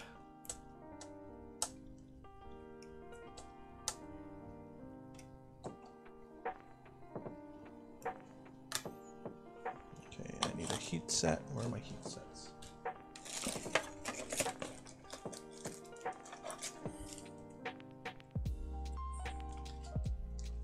other than pulley and probe length, which I check for probe accuracy. Um, it could always be the probe itself. Unfortunately, there's so much variance now with the quality of the probes. Um, but also make sure all your grub screws are nice and tight on your Z axis. So anything on the Z, make sure all your, your grub screws are tight. Or your set screws or whatever you want to call them.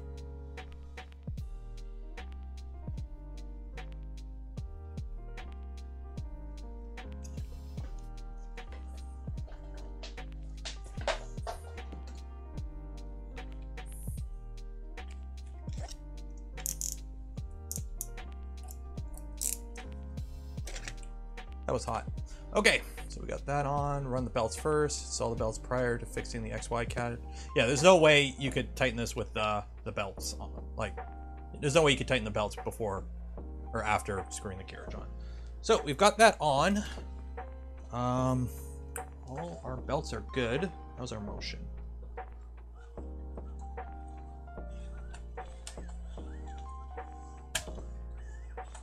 Everything seems to be good. Oh, yeah, don't put your thumb on a hot heat set. Uh, how's that? That's good. That's good. I may have to adjust those pulleys up and down a little bit, but we'll see. I think we're okay. If I gotta adjust them, I can adjust them.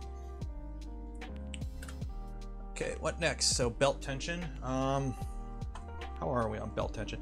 For me on the V0, when I do belt tension, um, two things. I, I go at the back, I move the carriage to the front, and I go off the back. And you basically want to make sure these are pretty much the same amount of tension.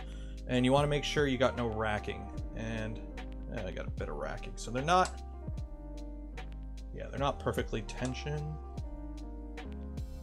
I've got a bit, so um, I think it's yeah, it's the opposite. So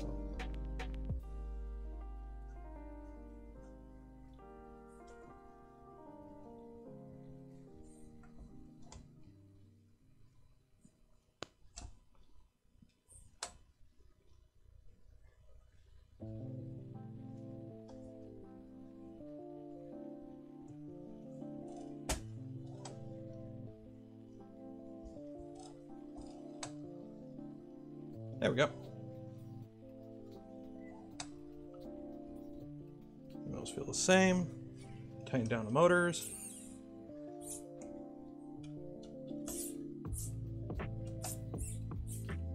You might have to adjust later, as always, once you kind of break them in.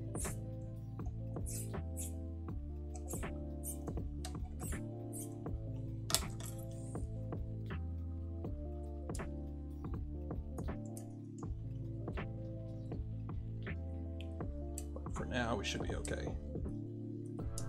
On the V0, there's less of a break-in period because its uh, belt runs are so short.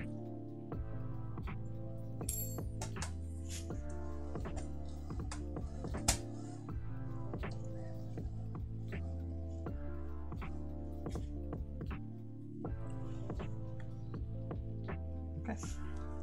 That actually might be a little too tight on the belt.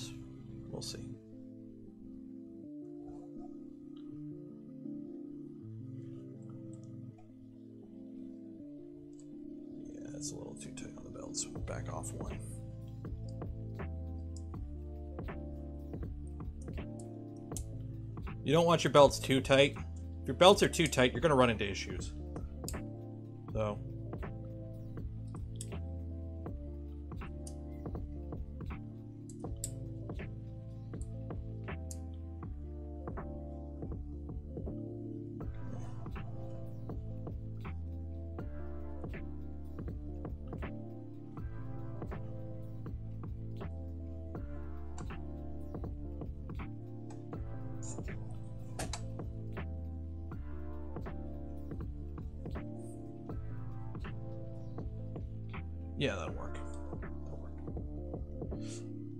Ton Henry. Ton Henry? Toon Henry. Thank you for becoming a member. Hi all. KB3D, good morning.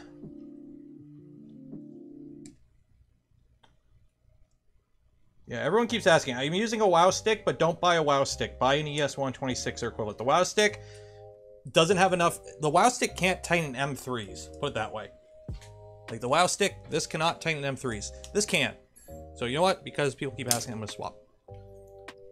I normally just keep a, a bit in the M in the ES126 for full size M3s and a bit for buttonhead M3s and M2s in the WoW stick. But uh yeah, we'll just keep using the S126 because that's the better one.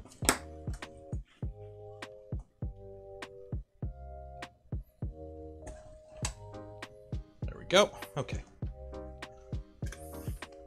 So adjust tension, blah, blah, blah. Do the small size of the belt path required tension may feel higher compared to a larger printer, but that's mainly due to the short belt runs and belt stiffness. Hey, the bed. Okay. So I've got to cut down these belts. So we're gonna we're gonna chop some off the belts for now. So I'm just gonna chop them a bit long for now, and then we'll save this. I don't know why I saved these little pieces of belt, but maybe I'll weave a basket one day. Move that to the back.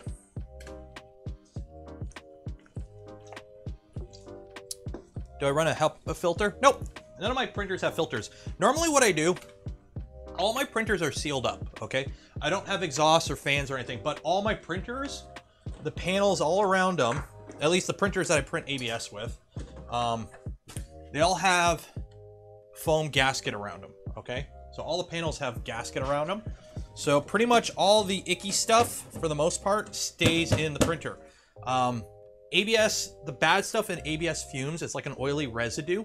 Um, it clings to walls and whatnot. So what you do is you just enclose your printer up and you just keep everything inside because the hot stuff, hot air rises, so all the gunk will stay in the printer if the, the panels are all sealed up. Um, so yeah, you'll smell it, but what you'll see is after a couple months of printing, the inside of your panels get all kind of greasy and oily and they've got like this brownish tinge to them. And if you wipe them off, you'll see it, but that's all the gunk. So print inside an enclosed printer that's sealed up and don't open the printer until the chamber cools back to room temperature. All the yucky stuff will kind of settle inside the printer and won't be floating around your room. At least that's what I subscribe to. Um, I've got one, two, three, four, five printers that are enclosed for ABS and other plastics. I'm not going to have exhaust systems on all of them. Normally, I'm not in this room as well when the printers are printing for long periods of time, but I'm streaming right now, so. Was that a bot? Yeah, that was a bot. So one second here. Let me add that to my bot list. What is it? vor.ngo copy. Okay. Uh, chat bot, spam filters.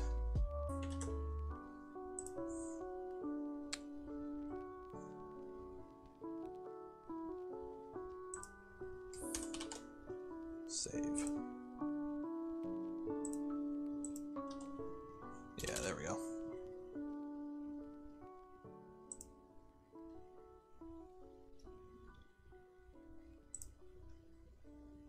Okay, see if that works. See if that works. F, what do you mean F? F, what do you mean F?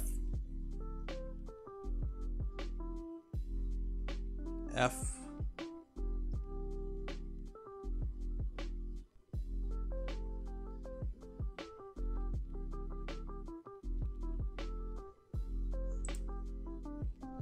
What, what are the F's for? Refresh the stream. What do you mean refresh the stream? What, what's going on? Oh. I don't know. It's YouTube showing me excellent connection.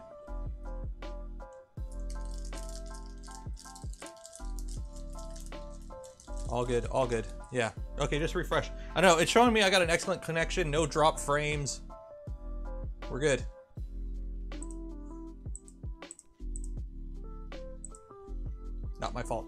Not my fault. Not my fault. Okay. Um, so this came with little itty bitty adjustment knobs for the bed, I believe. So we don't need to do the heat sets for the bed. Let me find them in here. Let me find the bed. Yeah. So we've got adjustment knobs and springs and whatnot, so got the bed right here.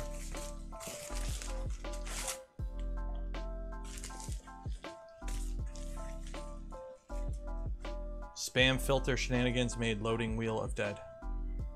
That's weird.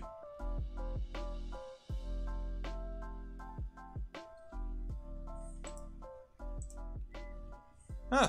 Alright. I don't know.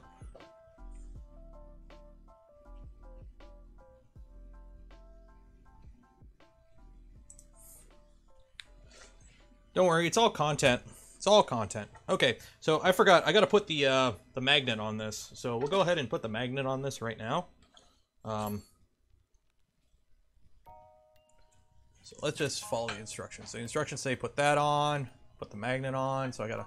How do you put the magnet on? Well, some guy has this awesome video right here on how to put a magnet on if YouTube decides to load. I've got a one gigabit fiber connection and I can't get YouTube to load. Damn it. I got a one gigabit fiber connection and I can't get YouTube to load. Okay. Anyways.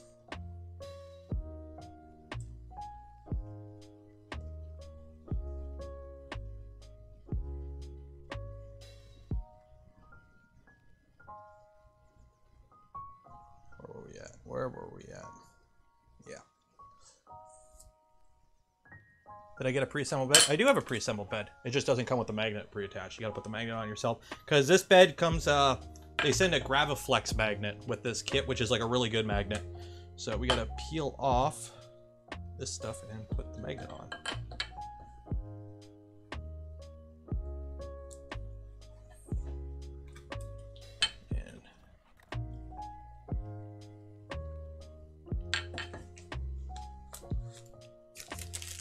How do magnets work? I don't know.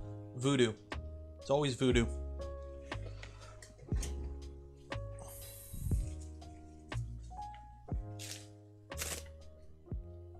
Okay.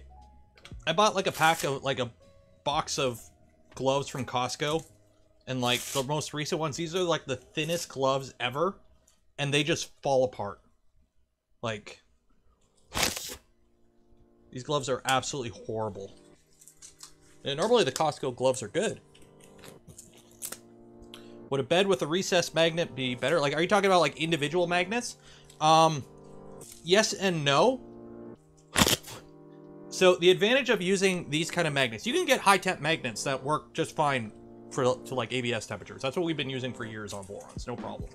Um, the advantage of using these style of magnets is twofold. One, you could do this at home. You don't need a CNC machine or a mill to pocket out pockets, or you don't need to buy a custom made bed. You can do this with any slab of aluminum and a drill, drill your holes, and just stick stuff to it.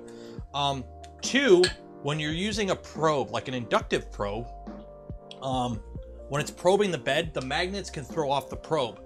There's two ways around that. You either have to have your probe set up so that it never probes areas that are near magnets, because it'll throw your reading off, or when you use a flex magnet like this, it's consistent across the bed, so it doesn't matter. So, there's that. So, we got to put this on. So, this is how I put magnets on. I've always done it this way. It works. Um, nice shiny surface. I'm going to scuff the hell out of it. Okay? Because when you scuff it up, I find the magnet sticks better. So I just use like a light um, sandpaper block. Don't go crazy high grit. You're basically just scuffing. I've done this with an SOS pad. I just don't have an SOS pad down here. So just scuff it up a bit. Get your ISO. Get some paper towels.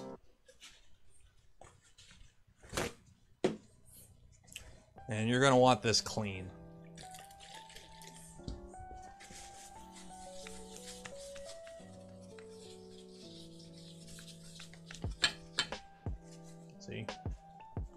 Yucky. You want it clean. Matt R, 299. Appreciate it, man.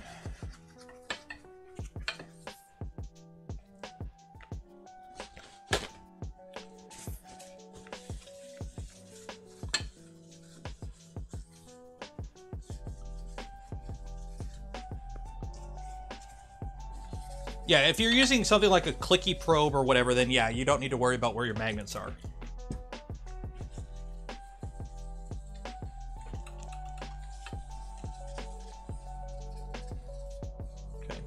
And then what I always do is wipe off the bottom of your magnet because usually as you're peeling back the film that protects the, the glue, you don't want like stuff on here to fall onto your freshly cleaned bed.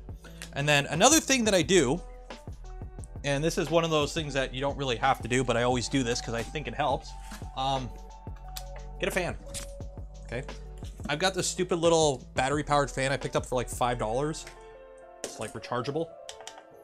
Have a fan going next to where you're doing this. Because, you know, I have a dog. Dog shed like mental. There's dog hair all over my house.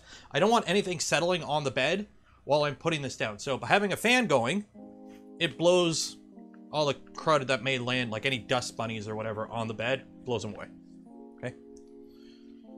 What is the square footage of my shop space? Well, this is my basement. This is a room in my basement. I have approximately, if I remember correctly, I have 10 feet by 11 feet, or 11 feet by 10 feet, and then I've got a little closet and a little cutout.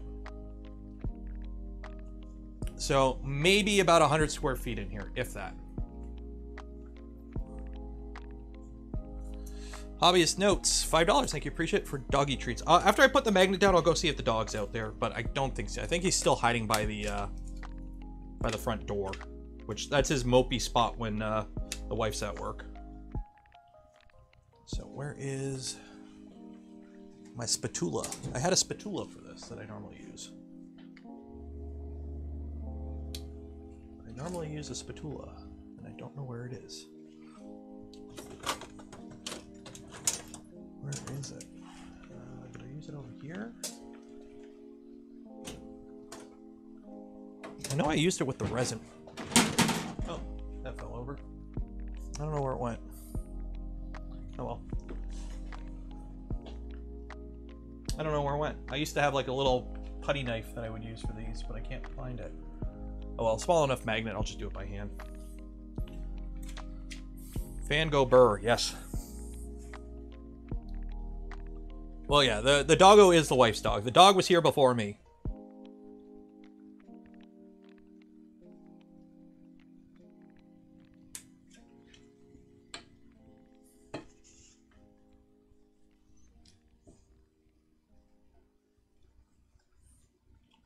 Somebody's gonna freak out that I'm doing this with my thumb, but I've done a million beds and I've never had an issue with it.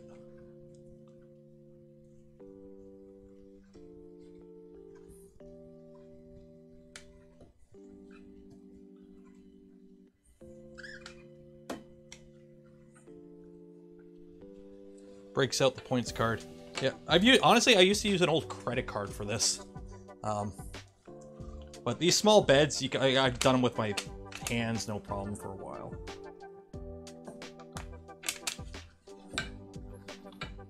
Like as long as you're consistent with laying it down, the beds, the the magnets are so thick they just kind of work. Like it's hard to get a if as long as you lay it down properly, it's very rarely you'll get a bubble in here because they're so thick that it's it's almost impossible for like a bubble to work itself under if you're laying it down right.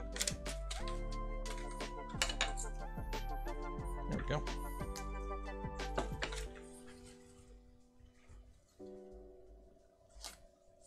Uh, the bald patch ain't coming in yet. That's good.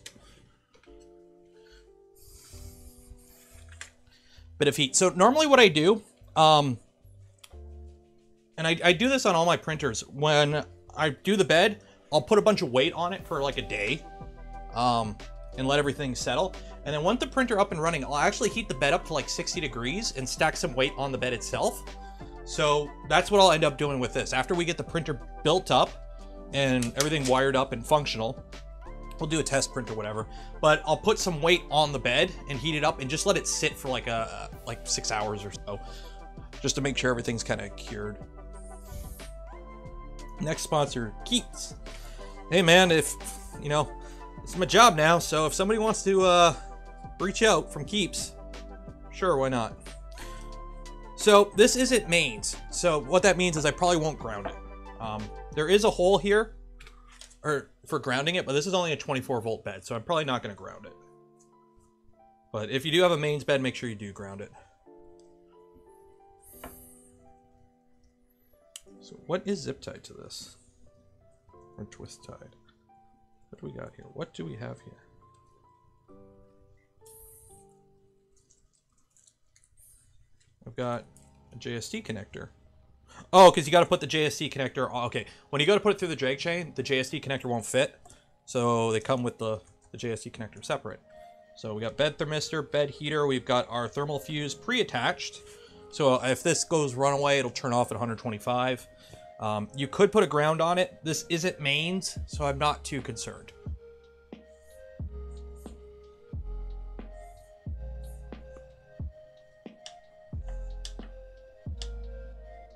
Walk up into the jobby job. This is the jobby job.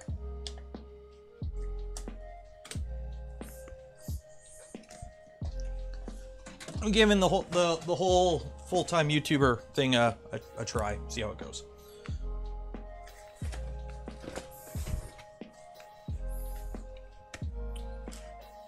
Because you guys are so awesome and you're like, we want to watch more streams, but you work too much. And I'm like, fine, I'll be a full-time YouTuber.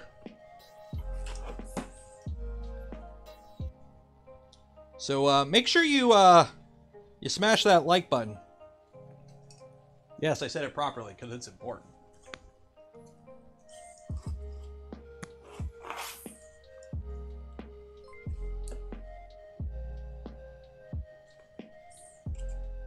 I think that's how it works for live. For live, because YouTube, I, I hate YouTube's live because you have to pretty much be.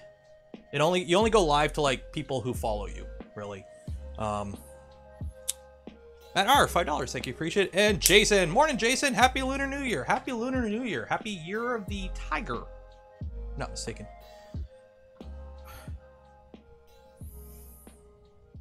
But yeah, like th- this is YouTube. So we go we go to YouTube, right? Okay. So let's let's see this. Go incognito on YouTube.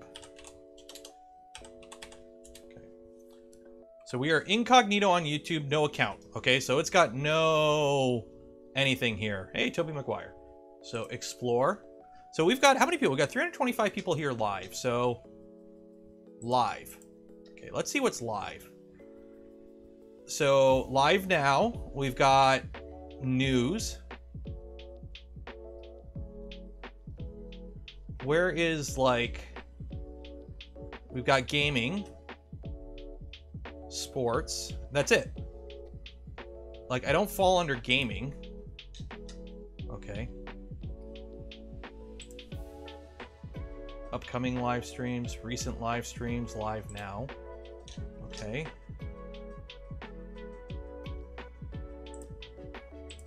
So, where would I be? Like, how would you find me if you weren't already subscribed to me? Like, that's the one thing that sucks with YouTube. Like, you have YouTube gaming, but where's YouTube? Because I, I go live under science and technology. So there's live sports, live gaming, live news, upcoming live streams. But where where would you find me if you just want to? Hey, I want to watch live 3D printer guys on YouTube. Where the heck would you find me?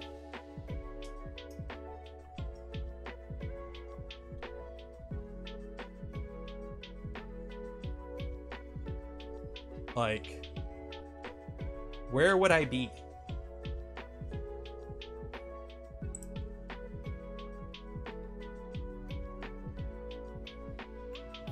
Like, I have no idea how YouTube Live like works for that.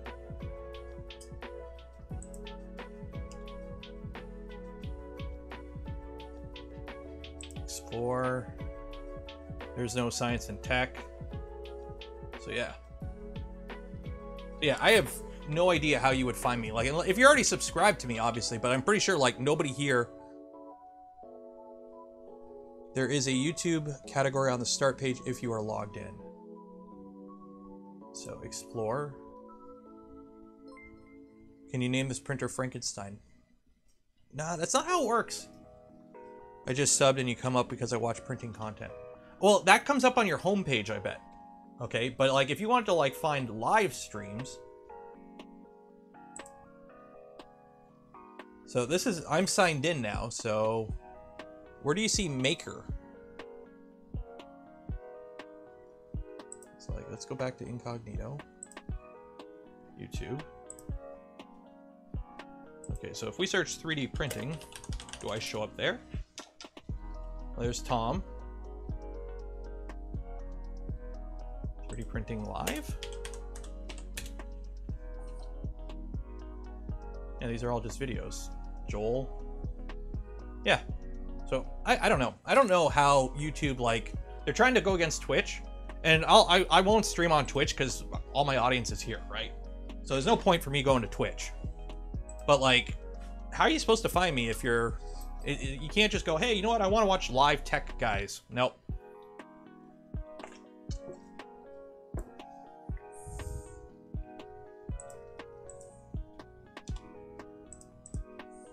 Yeah. These categories at the top here, though, when you're signed in, these are generated based on your views. So, like, hit live. Well, I'm Canada, so here's all the, the the freaking truckers all chilling in Ottawa blocking traffic. Like, still, I don't know. I don't know. It's the algorithm, baby. The algorithm. Arn, thank you for coming a member. Okay, so we got the bed trimmed up. And then what I do is we got to put some holes in this bed.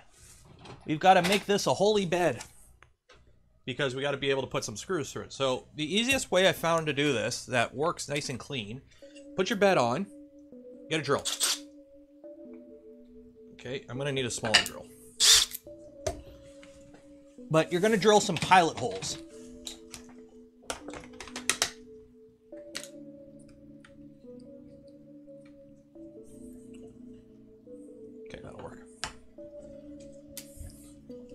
I don't actually, I've never played League of Legends. I've never watched a League of Legends stream. I don't know why it would show me that. Like, even on Twitch, there's, you know, I, I, there's, you know, I follow a few Twitch streamers. I'm subscribed to a bunch of people on Twitch. I don't watch any of them for the gaming. Like, I'll, I'll watch some people because of the person. I don't care what game they're playing, or variety streamers. Like, so what you do is you drill through your, your magnet with the drill. So you drill through your, your hole, drill through the magnet. Don't push a lot. You don't want to accidentally pop the magnet off the bed. So just light force, drill through. Okay. Uh, let me trim that quick. Live tech guys in your area.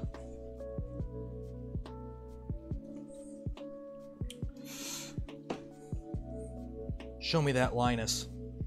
Show me that WAN show. Okay. There we go. So that's trimmed. Oop, missed a spot. Okay. So, we've got our three holes. Obviously, a screw isn't going to fit through that. Deburring tool. And you use your deburring tool to clean that hole up and put a nice chamfer on it.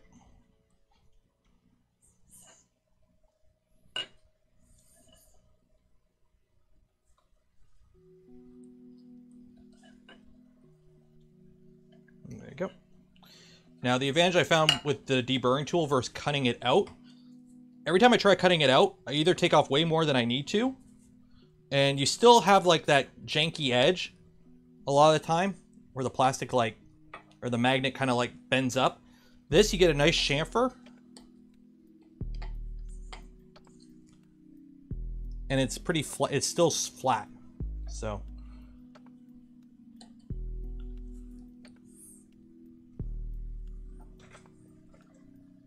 Thoughts on Mandala Meg bed versus normal? I haven't used a Mandala bed, but I know a few people who do and they like them. So if you're okay with spending the little bit of extra coin, go ahead for it.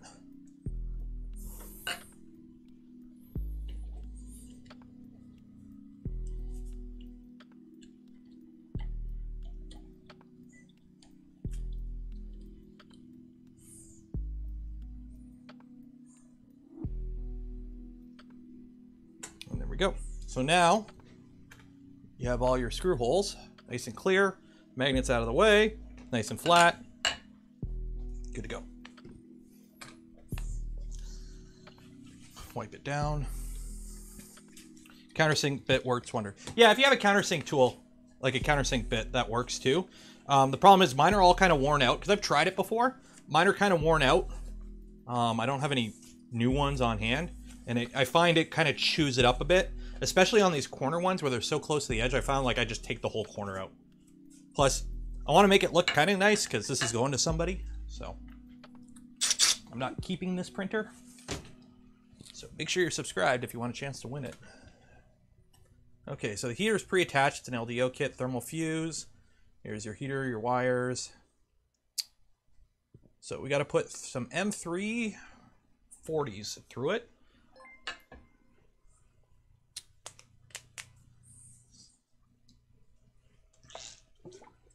The Ghost. Thank you for becoming a member. 335, M340, and then we use some M or and some M3 lock nuts. Uh, why don't I want to build an annex printer? Um, reasons. Simple as that. Founder of Annex used to be on the Voron design team. He is no longer on the team. There are things that aren't public, and I'm just not going to build one. Simple as that. So where is my... There it is.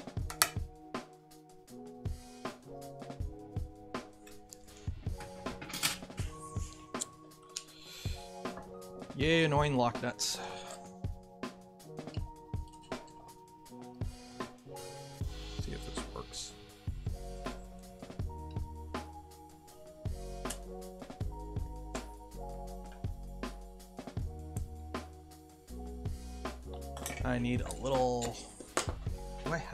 That'll fit these? What size are these? Are these M6 or M7?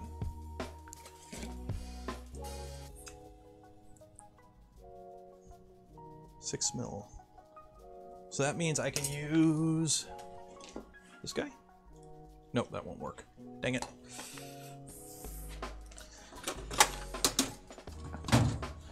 Create a Twitch account so you can give me Twitch Prime. where's my Twi- where's all my Twitch primers at? Twitch Prime in chat, guys. Twitch Prime in chat. Yeah, this kit has an MGN 9 for X axis.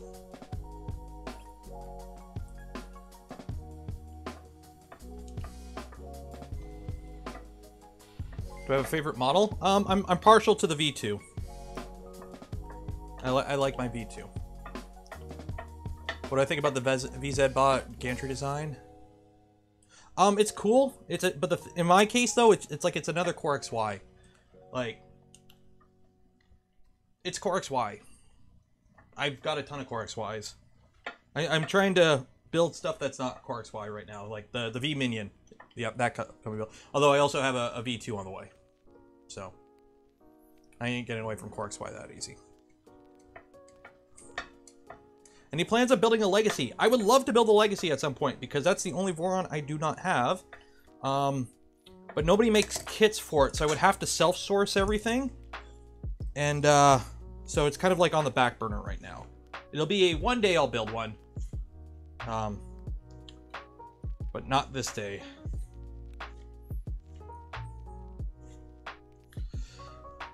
Screwing on M40s with lock nuts is tedious. Let's build a polar. Sure, find me a nice kit for one. You likely have most. Um, I would need some. Actually, no, I, I don't. Well, I would need the frame, the bed, the frame, the bed, the uh, all the rods. I don't have any of the rods. I used a lot of the rods. I chopped up all the spare rods that I had um, from my V1 build, my V1.5 to build Bonsai. So all those rods that I had sitting were chopped up. So I no longer have them. And then uh, what else? Electronics I have and screws I have. So yeah. Only the expensive stuff I would need to buy. Okay, so there's one done. Did I say Charlie, welcome, thank you for becoming a member? I don't know, I'll say it again. Charlie, thank you for becoming a member. Hang, hang printer. I don't have room to work in this room, let alone print in this room. Or turn the room into a printer. An Epson printer. Aren't those those super expensive multicolor prints printers?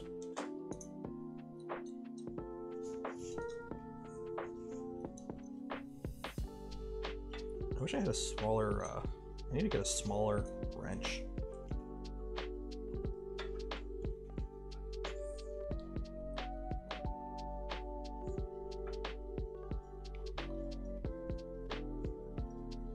Bed frame rods, at least it isn't. Um, yeah, true.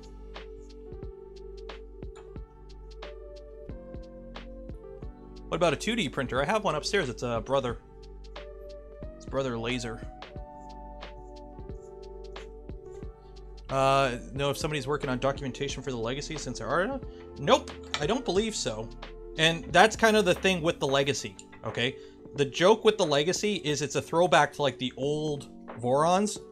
Um, so it, it's meant for those that have kind of it's a it's a it's a resto mod, okay? So it's not meant to be your first printer. It's kind of hey, I like the look of the old printers, but you know, like the old like go back and look at like a V1.0 or V1.5. So it's meant for those that like that old school aesthetic, or they want to upgrade like a V1.5 to a, a new one without dropping the rods. But uh it's a resto mod, so it's an old printer with new stuff, kind of to make it a little bit nicer to use. But it's not meant to be a like fully documented, fully feature-driven printer. It was just kind of like a fun little project RCF had. That was like his Christmas surprise a couple years back. So, at the moment, nobody is working on documentation for it.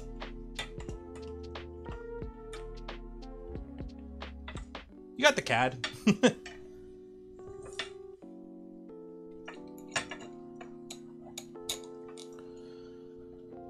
uh, what do I think about the G5E bearing mod? Um, I haven't used it, but I, I think my uh, if Steve's in chat, does 2.4 R2 use it? I don't know. I'm using G5Es in uh,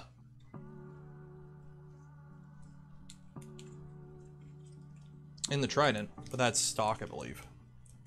Steve is at work. Oh, Steve's at work. Okay. Look at Steve being responsible. What are the rest of you guys doing?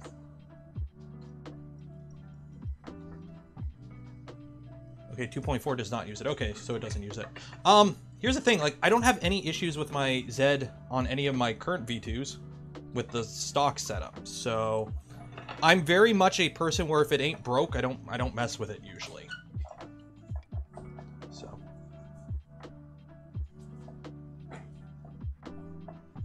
I just finished my AM8 build. Almost does it count as retro?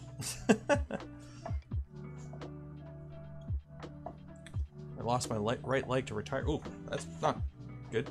Hank B, $5. Thank you, appreciate it. I get paid to watch your stream. My employer doesn't know that, though. Oh, well, that works. I just quit my Microsoft journey.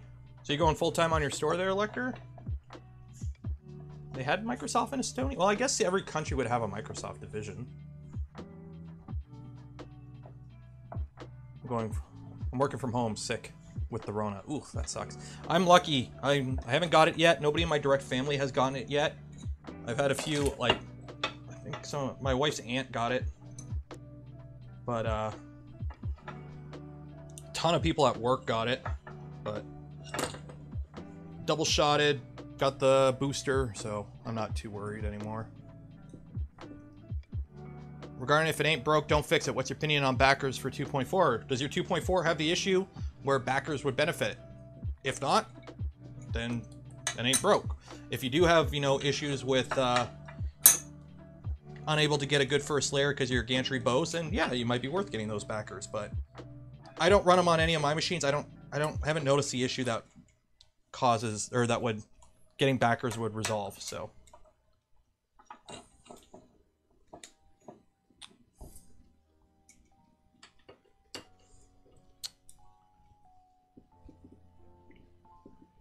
Yes, now only Shop Skype is part of Microsoft. Oh, okay, that makes sense. Well, congrats. That's the thing. Eventually, you get to that point with the side project where you either have to abandon the side project, not let it grow anymore, or go all in. That's like pretty much that, what happened with my YouTube. Um, the channel's going very good, mostly because of the live content, I believe, and you guys supporting me that much.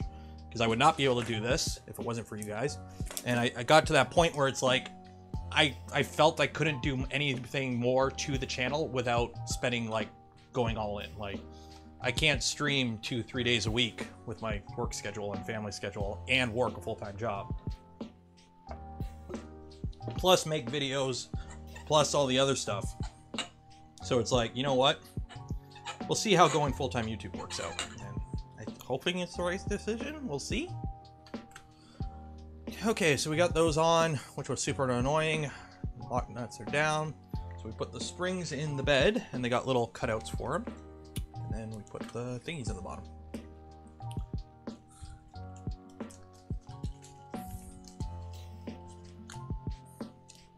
Self-isolating due to a cough. That's like the crappy thing. Like, my kid is at daycare, and if he has any symptom, he has to isolate for like five days.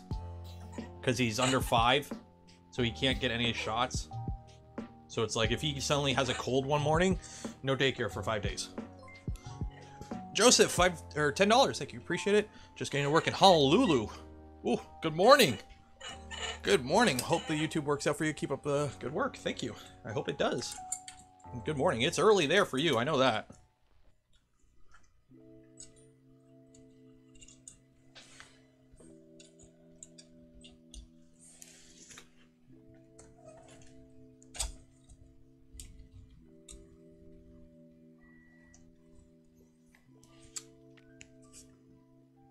How does this work? That's got to go underneath, so. Yeah, so this goes underneath, over and out. Which brand rails? Uh, these are LDO rails, and then the MGN9 is, I don't know what brand because the carriage had the brand on it and it's covered now. But these are LDO rails, for the most part.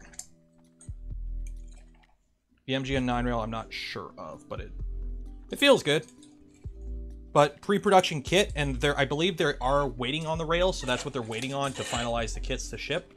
So i believe i don't know what the production kit will be but i'm assuming good rails. I don't see why they wouldn't be. Robot dig? Okay they're robot dig. The mgn9 is a, a robot dig rail. There you go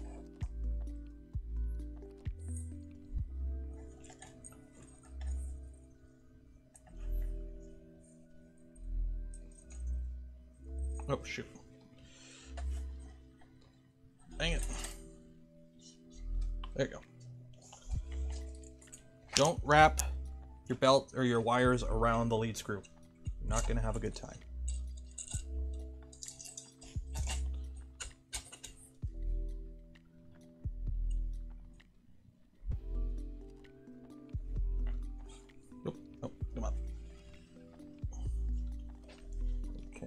That goes down there. Let's put our nuts on.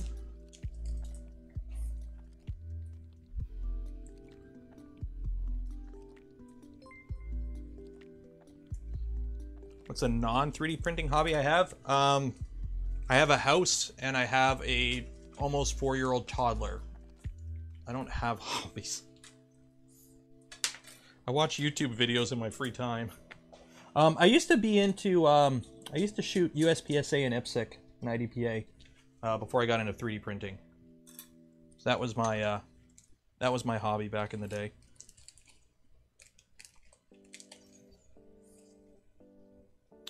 So Lecktor, I've got different nuts here. I've got like some flat knurled nuts and I got some bigger knurled nuts. Is there a preference for either?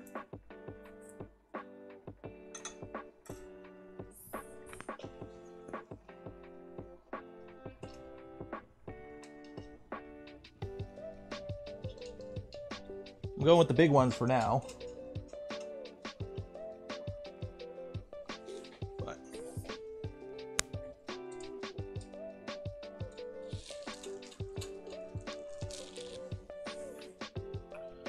matter of taste. Okay, so we'll put the big ones in for now and then play around with them if we if we feel like changing them, I can change them. Or whoever gets the kit can change them out. Okay, so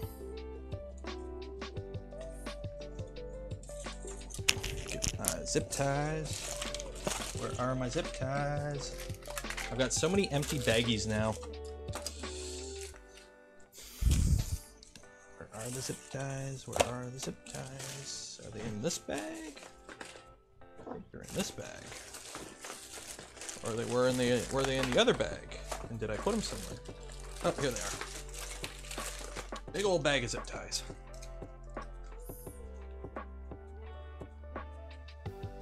Since the stream about the Trident, can't decide if I want to go self-source or buy the kit. Um, modern preference, honestly, depends on where you are. A lot of the time, the kits are cheaper than self-sourcing. Hardware-wise, the Fysetc kit and, you know, self or shameless shill, I do have affiliate links for it in the description of those videos. Um, other than them screwing up the panels, sending the wrong size panels, and forgetting to send a hot end, which they did correct, Um, the hardware in the kit is fine. Like, yeah, we had to do some stuff to the electrical and change a few things around, but the actual hardware of the kit is, you know, it's quiet. The fans are a little loud. The 60 millimeter fans are a little loud, but belts are good, bearings are good, the motors are good. Seems to be okay. It's been printing for 24 hours straight right now. No issues, so. Is it better than like an LDO kit? Or no, it's not better than an LDO kit, but it's cheaper than an LDO kit. It's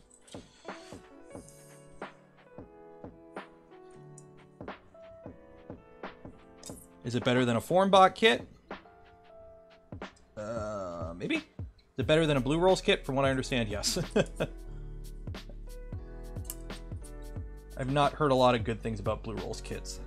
I've heard some people really like them, and then some people absolutely hate them, and they screw up parts. So, but it's like when I do, you know, when I'm talking about SSRs, right? Here's the thing. I I, I know how people are, okay? Because you know a lot of people are like that, and I'm like that a lot.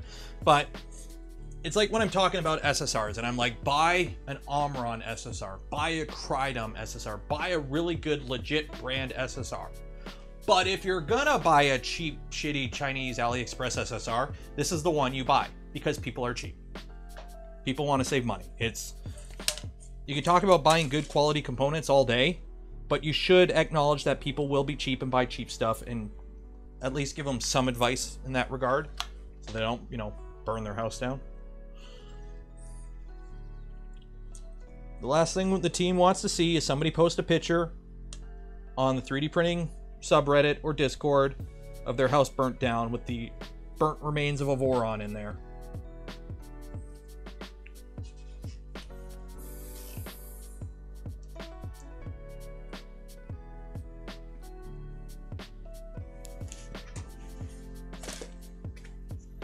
Malcolm, thank you for becoming a member. Buy a Panasonic. I never used a Panasonic one. Just just buy a good one. That's that's the uh that's the thing. Just just buy a good one.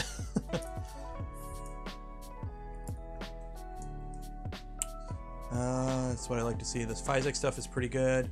Fysetc hit and miss with quality on their hardware, I will say. They're uh they have issues with their um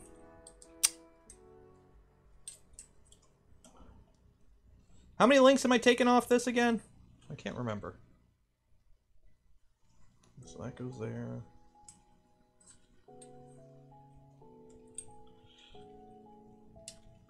Um, their their electronics, their electronics, their boards have had QC issues over the years. That's what I've heard.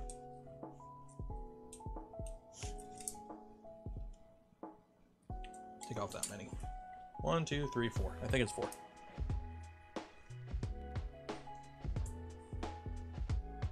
Why don't I use the yellow ground cable? Uh, it's it's the bed isn't high voltage. Like I could ground it. I think there is a ground cable in here. Yeah, I could ground it. I just normally don't ground. Yeah, which one is it? Yeah, it's this one, I think.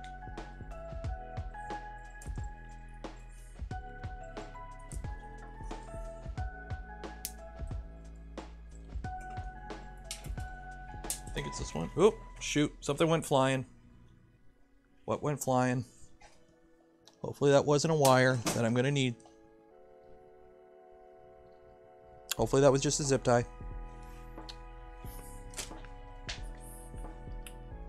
But yeah, it's already tight in there with these wires. I'm not gonna ground the bed. It's a, it's not mains. It's only 24 volt.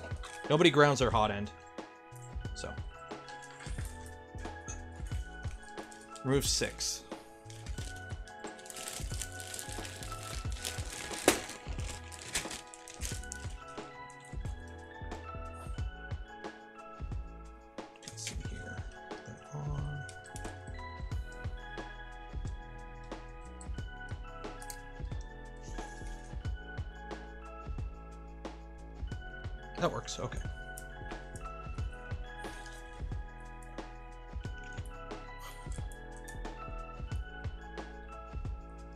Mains bed, ground your mains beds. Always ground your mains beds. But non-mains bed, you, you don't really have to.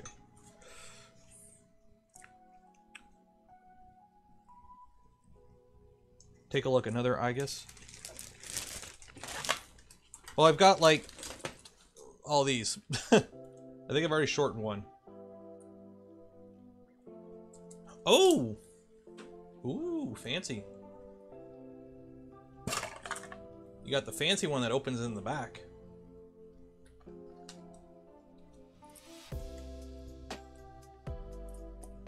Okay, let me take the links off these because I already got links installed. So take off six, you said? One, four, five, six.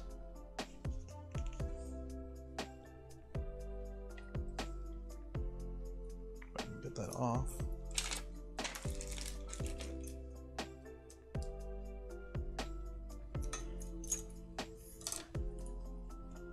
Oh, that's not long enough. That is not long enough.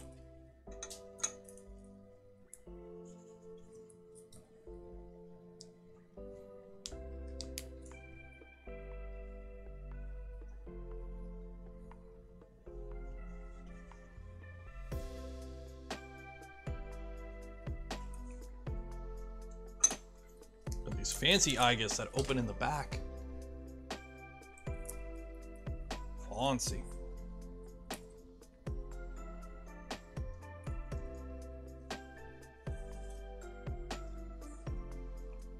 Guess they just open in the back and you just kind of.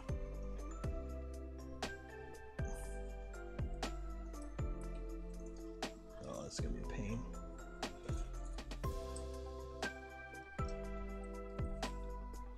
Get in your hole.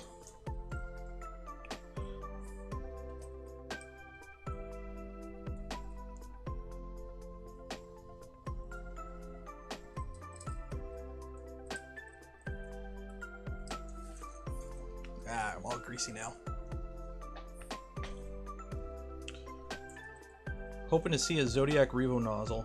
Well, I don't think E3D is going to be too kind to them with the patent right now, considering they already, uh, I think Zodiac was the one that already showed pictures of it without even contacting E3D, and E3D's like, um, nice to see you guys are, uh, just making stuff without the patent, because that is patented, but, you know, is what it is. There we go. Okay, snap in there. Okay, we're good. We're in.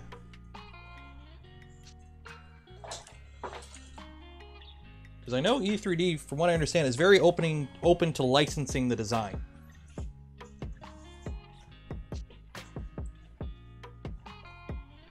But having, you know, their own version out before it's even public,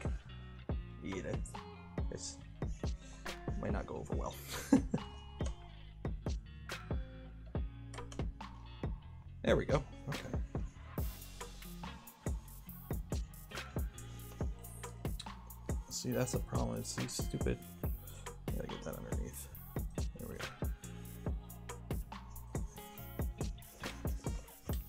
There we go. Okay. So we've got our drag chain in there. So come down. We're good. Come up. We're good.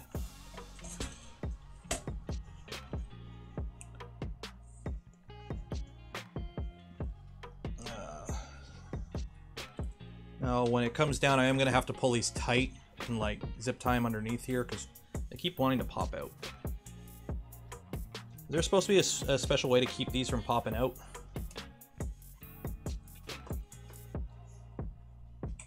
Or is it just going to be I'm going to have to zip tie them at some point?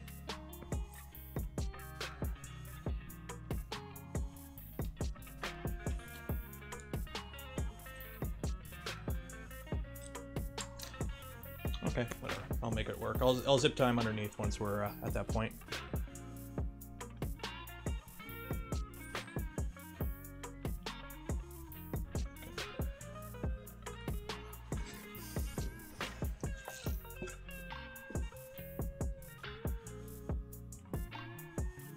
Yeah, as long as they go like they do it the legit way. The the issue, like, and, and I know people are going to be like, oh, what about the slice stuff? The thing is, the slice patent is about four standoffs that have prior existing art.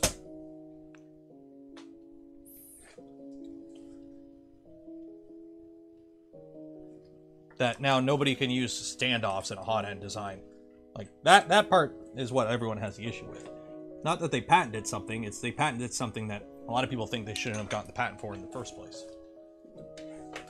I, I can find designs on Thingiverse from like 2014 that use standoffs to prevent the hot end from rotating. Okay, so where are we at now? So we got the bed on, we got our uh, wire channels, we got that on, cable chain, bada bing, bada boom, end stops, and rear panel.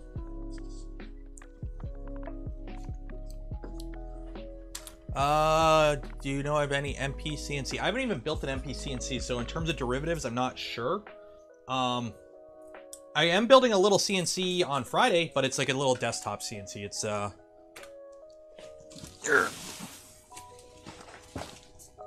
yeah, I'm building this guy. So Friday we're putting this guy together. So it's the Comgrow Robo CNC router. So we're gonna build that on Friday.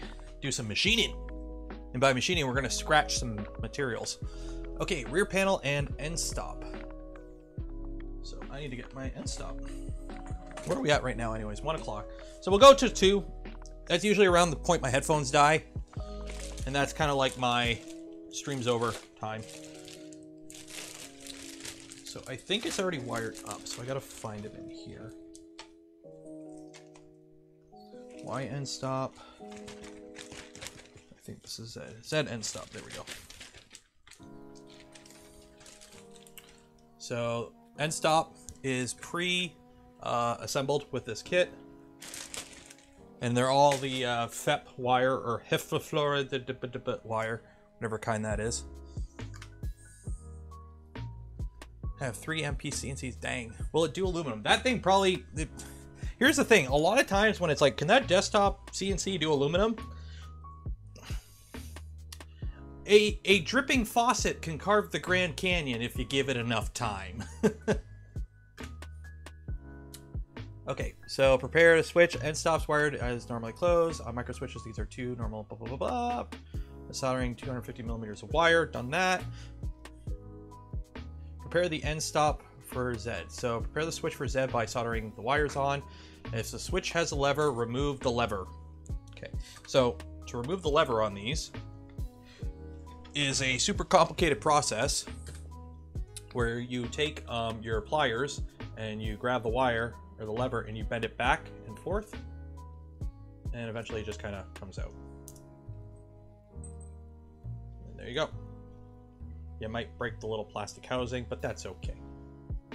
Now it because you just want the switch. It's more accurate with the switch. And by more accurate, I mean like fraction of a fraction of a percent more accurate. But it's your Z, so you want it as accurate as possible. Still clicks. Okay. so we're putting on a bunch of end stops. So we're putting the XY in right now. So let me get the other ones.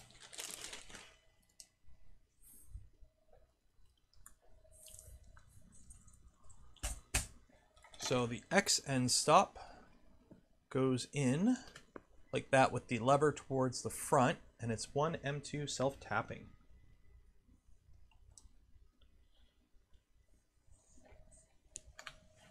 Where'd the music go? Oh, there we go. Just took its time getting to the next track. Heluflon. It's Heluflon wire. There you go.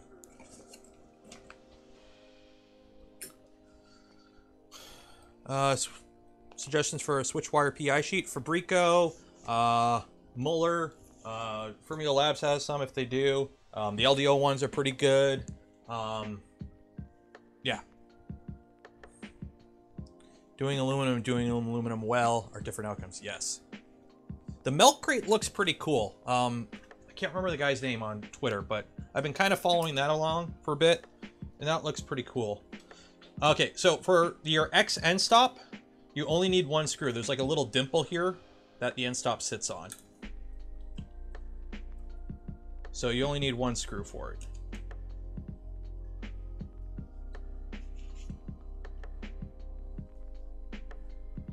So don't try and put two in.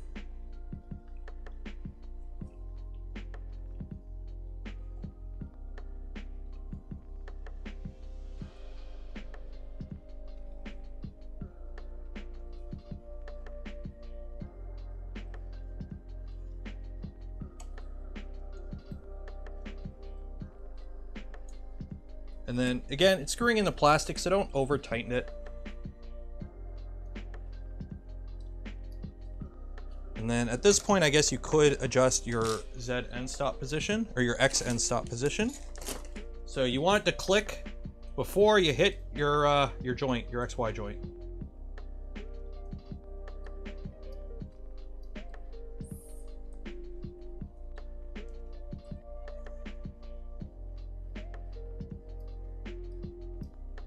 And by the way, for the screws, um, I think these are M3. Is it M3.5? I think it's M3.5. So if you want to know how much you need to adjust your screws, if the screw is M3.5, every full rotation of the screw is 0.5 millimeters. So if you want to bring your, you know, your X end stop over one millimeter, it's two full rotations of the screw spinning. So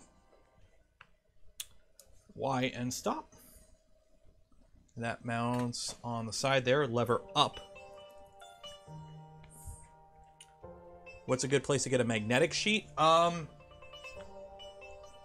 it depends on where you are in the world. Go on the Voron Discord, check the channels, uh, check the shop channels in the vendor section that are in your country. That's probably your best bet to start.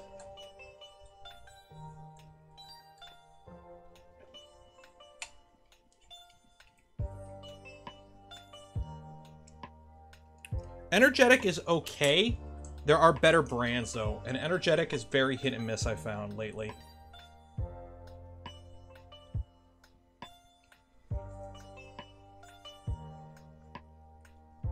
Like, I've had energetic plates that have lasted a year, and I've had some that are like DOA, basically.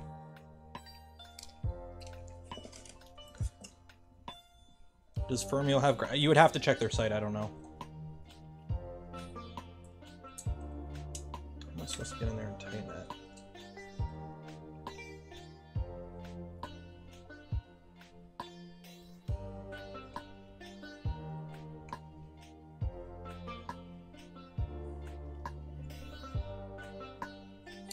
Okay.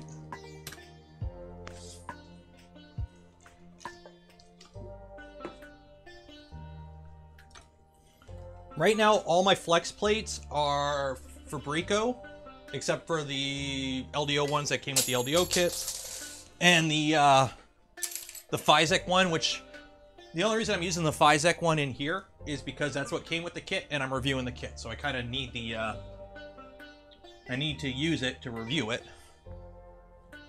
But at some point, it will go bye-bye, because why would I use a Fysetc one when I got, you know, one of these fancy ones from Fabreeko. Got my logo on it. Uh oh I bumped the Ethernet wire. Hopefully I didn't lose you guys there.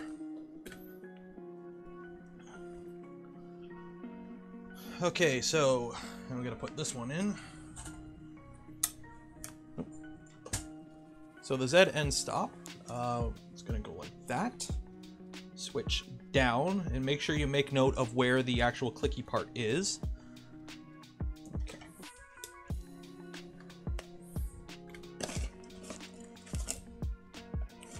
Do mass production of that. I didn't make them, Fabreeko did.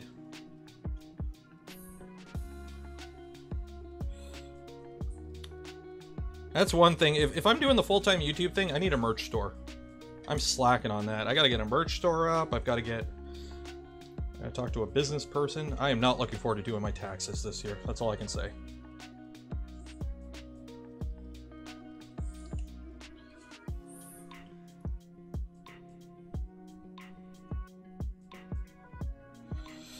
Well, the problem is I would have to find a merch store that I could sell stuff. Because I could set up, a, like, technically I have a merch store. If you go on my YouTube page, there is there is a store. I do have some stuff. Um, but it's through YouTube, and it's just the logo. It's just like straight up there. Let me pull it up here.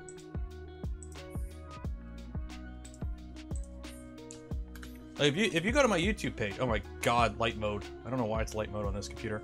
Um, store. I I have a store, but it, it's literally like auto generated stuff from YouTube, and like the prices are not the greatest. Like six dollars Canadian for a sticker. but I technically do have a store. But I need to get a proper merch store with some like custom merch, which I think I could do through StreamElements has merch store support. So I might I'm gonna look into that. But I've got to get some proper art made up and whatnot. The Fabreeko ones are awesome. I that's what I'm using on like this is Fabreeko I've been using, and I've been using Fabreeko textured side on the V2 here. And then down on uh, Toasty, I've been using the flat side, the sticker side, and they're working great. Um, yeah, I like them.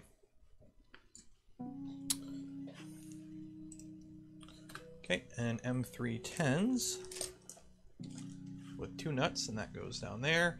And stop mounting. The M3 are dropped in from the top. Use M2 ball driver to fasten the screws.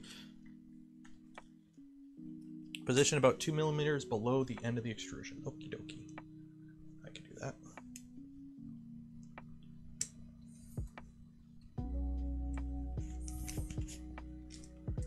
Where are my nuts at? There's two right here. Hello from Belgium. Hello. Hello there. Wait, I had two nuts. Oh, there's the other nut.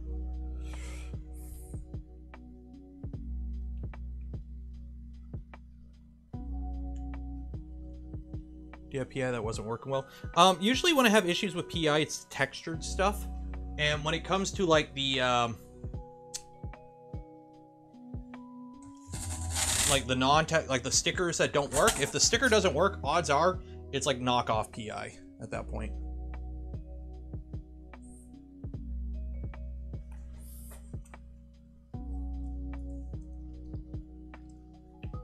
Drop the bed down a bit. No. Like a lot of the times they'll sell like um not PEI, they'll sell what is it, PEC or P not PEC, um can't remember what it's called.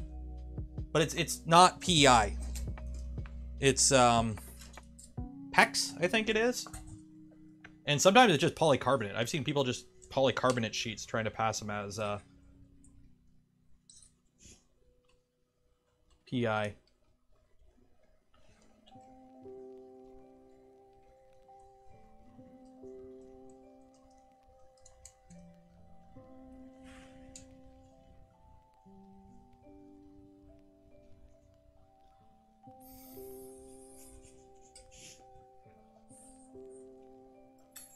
Yes, Lecktor is Lecktor. Actually, before I forget, I'm going to put the uh, little Pex or Kapton. Yeah. I, from what I understand, like, I think Wham Bam does it. They do PEX instead of PI for a lot of their sheets. And I, I apparently it's better for PLA, but I don't print, I like, most of my machines print ABS. Any, if it's enclosed, it's an ABS machine for me, or other enclosed plastic really in terms of PLA, my PLA machine is the Switchwire and then tall boy if I need to print something tall in PLA. But Switchwire, that's what I've been using the uh, ERCFA for. Like, yeah, I've done a bunch of test prints in multicolor with the Enraged Rabbit carrot feeder. But lately, I just keep six spools of filament up there of the common stuff. And then if I want to just print something in green, I just I just do it on the Switchwire. That way I can do it all remote from upstairs. I know which colors are loaded. So I can just, I want to start a green print and I just go and print a green print without having to uh, change around, you know, come down here and change the spool out. So I just use it for laziness right now. That's what I'm using the Enraged Rabbit for. And it's great for that. So. Amazon affiliate. There's an issue with Amazon. Like I know Linus doesn't do it for a reason. I guess I think it's hard to get Amazon affiliate and get it to stick around or something like that. Uh, flip printer, line the preloaded nuts into position. It's easier so you don't have to fight gravity. Okay, so we're putting the back panel on now. So let me find that.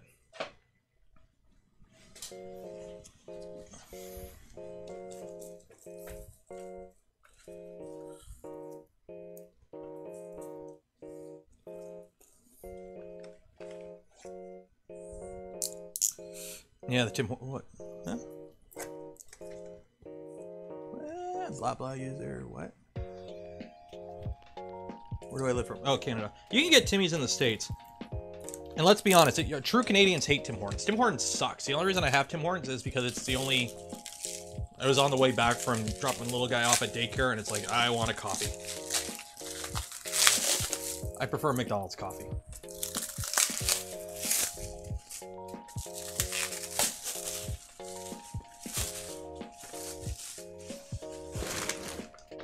TH3D. I don't know who makes his sheets. That's the thing. Like any store. Here's the thing. Nobody really. There's only a few places that make PI sheets, right? So most of them are contracting them out from other places, right? Like Energetic make their own, but they're Energetic. Uh, Fabreeko is using. I don't know who Fabreeko does. So TH3D might carry good ones, but some other people might carry them too, because I, I doubt he's making his own type thing. So the trick is to find who carries good ones, or who sells ones from good manufacturers in your area. That's the trick.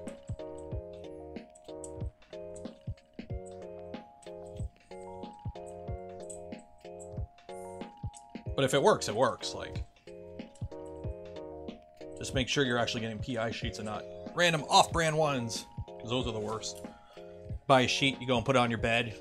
You have to put it on your spring shield or even like directly on the bed. Because I've done that back in the V2 days before we had spring steel sheets common.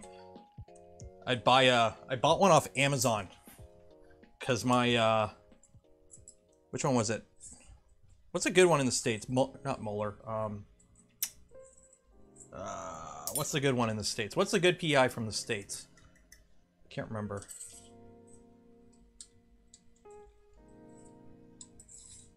Somebody's gonna remind me here. The one we used to buy from back in the day. CS Hyde, yeah. So I I, I bought a Gucci CS Hyde one, and uh, CS Hyde makes really good PI, and it died on me. And it's like, shoot, I need a I need a new one. And I was doing PIF at the time, so it's like, I need it now.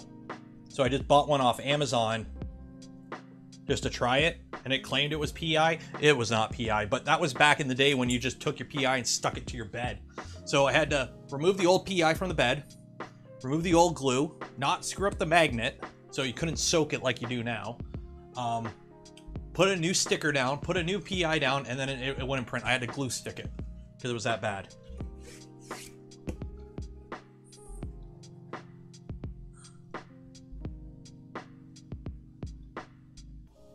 Okay, so you can have Amazon affiliates, you just can't advertise it, I guess. I remember I remember Linus saying they lost it because of some reason. I, I didn't know what the reason was, but I guess if you're advertising it, that that's reason to lose it, I guess. I guess that makes sense.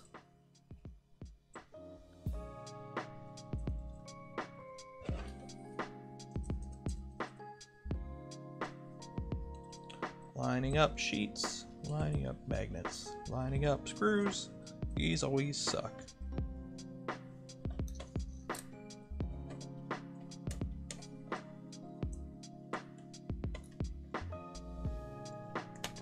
Don't pinch the screws. Hey, nothing lines up. Great.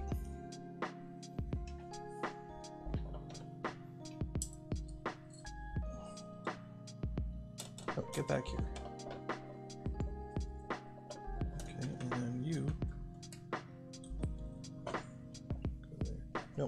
Where'd you go? Stupid screw.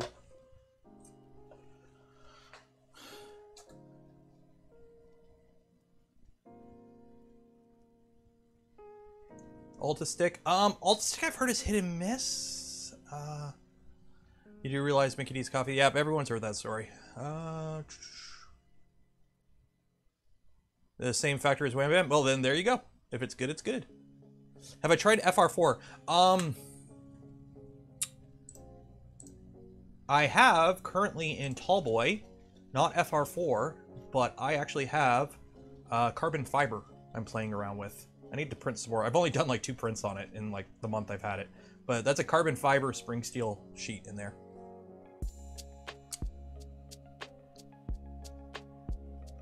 Okay. Okay, that makes sense. Yeah, I'll, I'll do that. Main channel, 2.5 million subs. Damn! What do you do, DJ Natty? What is your main channel?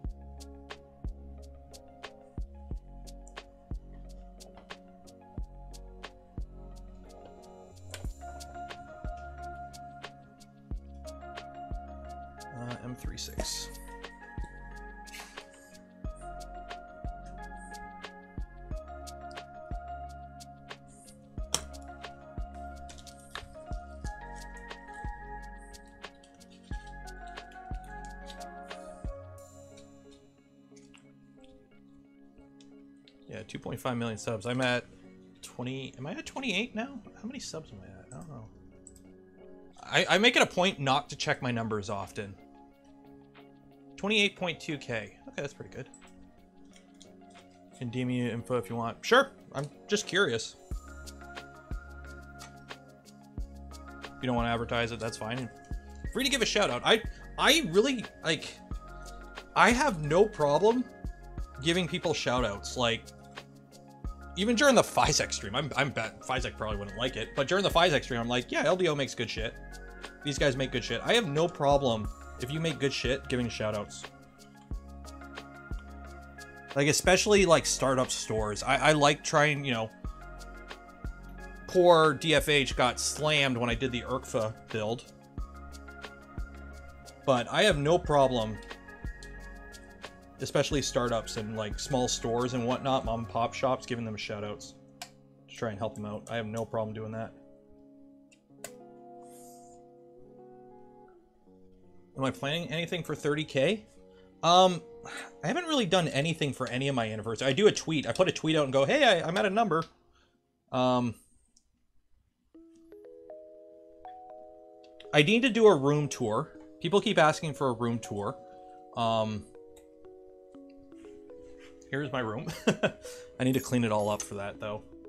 Um, I need to do a room tour.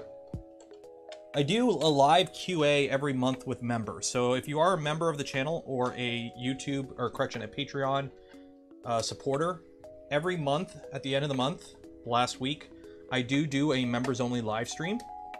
Uh, just live QA and just you know chat So I do do that, and then a month later it goes public. But I think 50,000 is like the number. So I should hit 50,000 this year, I'm hoping.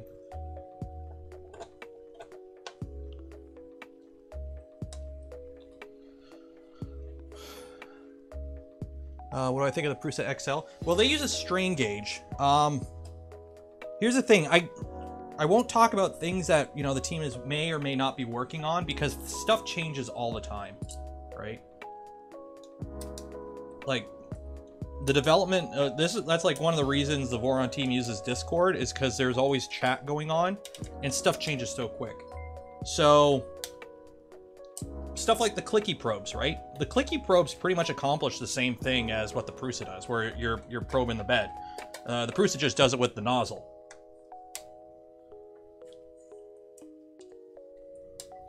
Marvin, thank you for becoming a member. And Hendrik, thank you for becoming a member. What would a, a Nero spec Voron look like? Completely stock. A complete stock Voron. That's Nero spec. But go funky with the colors. Yeah, strain gauges had issues. We did play around with strain gauges. Um, we even put the bed on strain gauges at one point. We had four strain. We literally, like, I still have them. Let me see. Yeah. Where are they at? Yeah. So if you want to talk about like the graveyard of Voron development, um, we had strain gauges under the bed at one point. Or no, those are fuses, I think. I don't know where my strain gauges are. We had strain gauges under the beds. We had FR, FSRs under the bed at some point. Um, we had these little wonderful little 5 volt servos. We were going to try and make a deployable, like, BL Touch that worked fine in the heat. Um, you name it, we've tried it over the years. Uh, worm drive for the Zed. we've tried all kinds of stuff over the years. There's a reason why we do closed development, because people would like freak if they bought all the stuff that we buy and never use.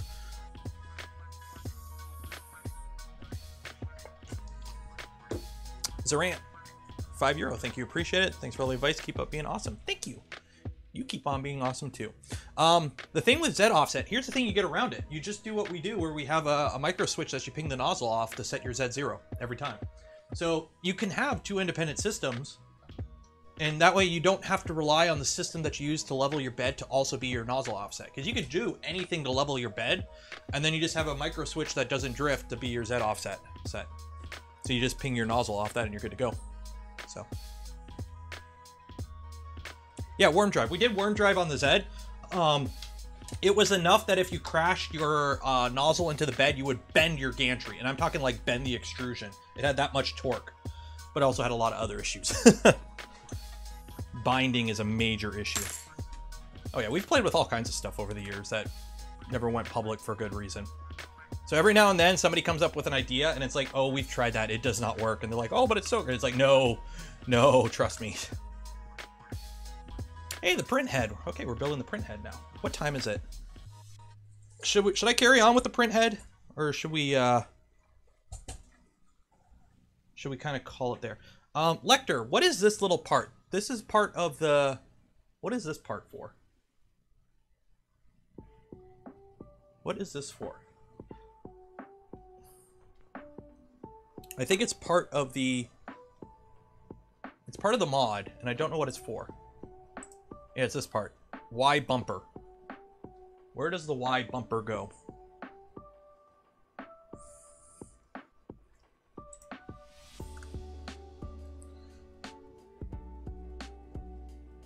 Need a list of things that didn't work. You want to, well, okay, since, you know what, I, I don't want to get started on the tool head and not finish it on the stream. We'll carry on with it Friday. But, uh, here.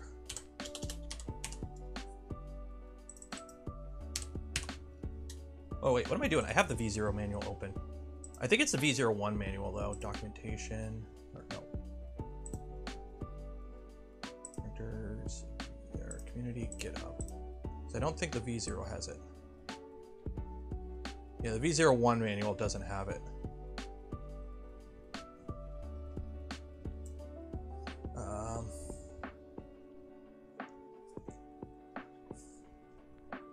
Pictures and explanation. Oh, that's a lot of work now. So let's see here. So V0, go back to V00. Uh, V0 manuals. Assembly manual. Okay. So just to give you an idea, so this is V0. So this is the original V0, okay? Not the V01 we're building right now. But uh, it basically... Oh, got hair. You get a hair in your mouth, you can't get it out. There we go. So, V00 is this guy. Okay, this is a V01, this is V00. Okay, so it's the original revision. Uh, the Z's different, a few tweaks to the XY motion, and it's Bowden only. But this is V00, okay? So, if you're curious how, like, it ended up like that, let me find here, we go. So the V0 development graveyard. So like, this is me, by the way. That's my print there. So this is the original bed was all printed. Um, original design was like a U shape, and then we did a T shape, and then we tried a printed shape. Uh, original XY joints were like this with press fit bearings. Original front idlers were like that. That was the original tool head for it. Um, we tried a duct in the back, and again, this was all Bowden, right? So there was the original tool head for it. Um, originally, it had printed tops here instead of extrusions. Um, there was the original jetpack back there. Uh, also, it was uh, rods at some point instead of lead screws, and a lot more printed parts. Uh, original front idlers for testing for tensioning, AB originals. Like you could see some of the heritage there. Uh, the Z had a lot of work to it. This was before, so the reason for the Z is this setup here with this pancake motor and the lead screw did not exist before V0. We had to get companies to make it for this side, for this size. Like you couldn't buy this. You so at, originally we did a belted setup. That was like the only way to get to fit. And then I think we got um, contacted a few companies to make these. So now that it's an integrated thing. Um, yeah, originally it was all printed. Originally it only like the original spec for this thing was four extrusions. Like you only had the vertical extrusions, everything else was printed. Because I remember, because the original design was four extrusions, so everyone bought four extrusions, and then it changed to eight extrusions or, or 12 extrusions, so everyone bought you know eight more extrusions, and then it changed to like the 16 extrusions now or whatever it has. Um, so we have that tool head original. Originally, it had this whole tackle box belted design. Yeah, um, more bed design stuff, XY joints, direct feed stuff, original top hat. So this was the like the original test print of the V0, back when it had a 100 by 100 bed, and there's the original tool head for it, which you or that's the uh, that's the V2 tool head, V2.2 tool head, but that's the original. I think that is uh, I don't know which tool head that one is, but yeah, you can see this is like the original back when it had four extrusions. Yep, the 60 watt heaters. There's an original X-axis. And then, yeah, KW10s, you can make little robots with them. This is back when it was all printed. Originally, this was a lot of printed parts. Also, it used like 4 millimeter belt for a while. Y-axis bumper to reach the clicker. But I, I don't need it to reach the... Oh, Y-axis to. Oh, to reach the clicker. Oh, I see. Oh, I see. Okay, I gotta put it on the extrusion then. Okay, let me put that on the extrusion now before I forget.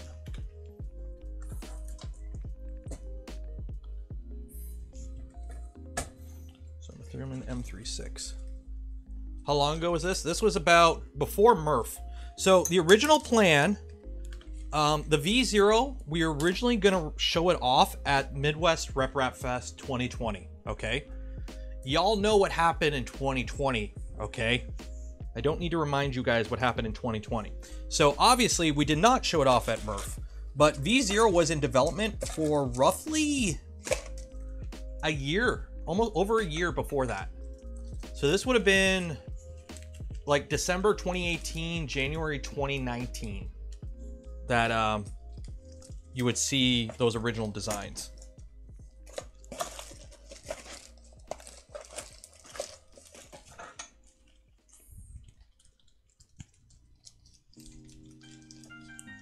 Thoughts on the kinematic mount? Mandala Rose. Uh, if you want to go that cool, go ahead. Like, I'm using a stock mount. I'm using stock mounts on all my printers for the beds, and I'm not having any issues. Atem, thank you for coming a member. What happened in 2020? I slept through it. Oh, just the world ending. You know how it be. Your your average, you know, once in a lifetime for the third time global issue.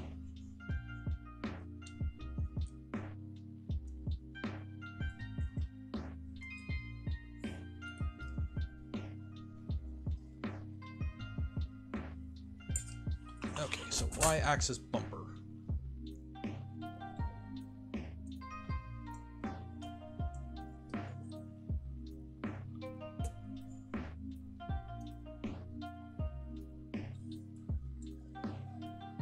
There we go, so that goes there.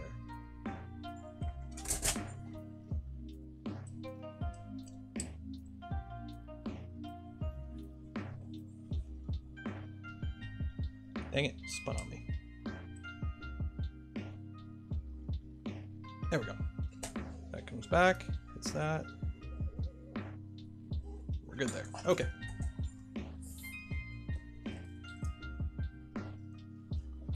World ending again. The world's always ending. Thoughts on Ender 3 to Switchwire conversion? If you want to, go ahead. I'm personally a fan of building from scratch a lot of the time. But if you want to rebuild your Ender, personally, if you have only one printer, try and keep one printer at all times. Because one is done, two is one when it comes to 3D printers. Because if something breaks and you don't have another printer, you're screwed. If you have two printers and you break one, you have another printer to fix it with. Can I put a hermit crab on a train? I don't know what a hermit crab is. So yeah, we're just gonna we're gonna hang out for the rest of the 20 minutes of the stream. I'll clean up here. So uh, again, Friday we'll do the Comgrow build, the uh, Robo CNC, because again nobody's home and I can make loud noises with the CNC in my basement. And then uh, Saturday night we'll carry on with this guy. we'll build the tool head. CAN bus solution from Big. T- oh, those things are bulky. I'm I'm not a huge fan of those removable tool head adapter plates, like the Wham Bam Mutant and the the Hermit Crab, because that that. How often are you removing your tool head? Like it just adds a you you lose you're losing, you know, X Y, well depending on how you set it up, X or Y, um, build volume for I don't know. Not a huge fan.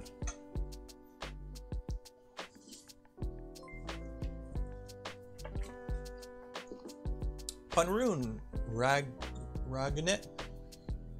Thank you for coming a member.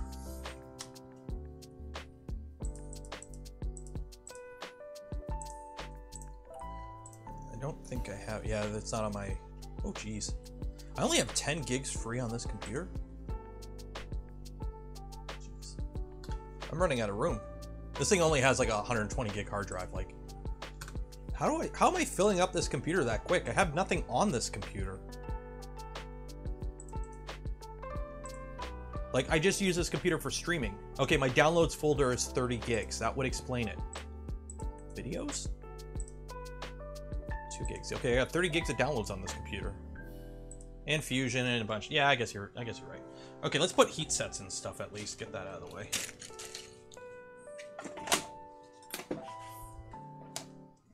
Do the heat sets. So I don't forget to do them next week. Thomas, 10 euro. Thank you. Appreciate it. Hello from the still working class. We're all working. Everyone's working. Everybody's working for the weekend.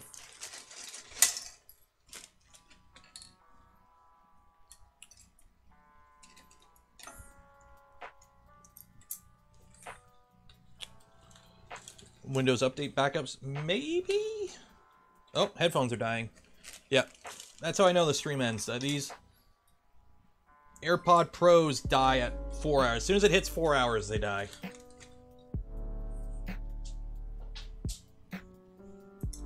Okay, I need a heat set for that, heat set for that.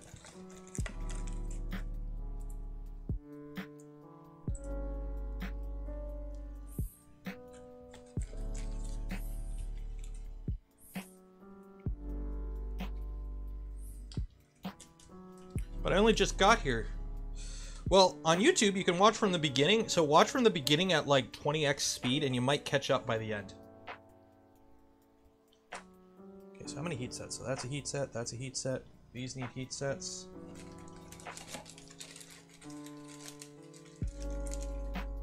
So three. What else needs heat sets?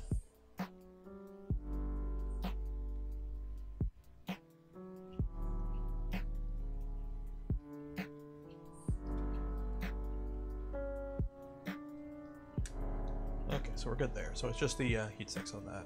Okay.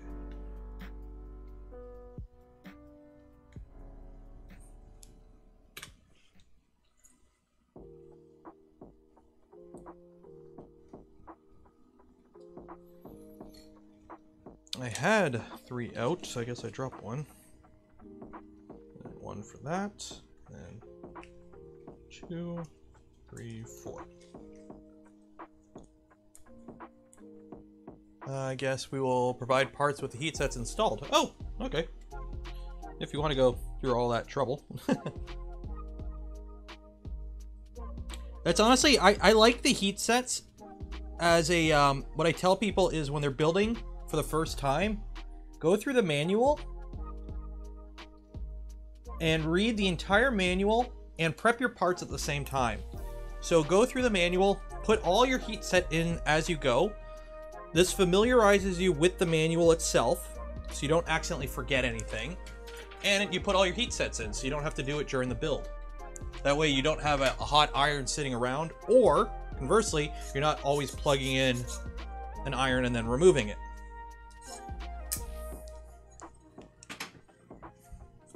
So you get familiar with the parts, you get your heat sets out of the way, and you read through the manual once before building.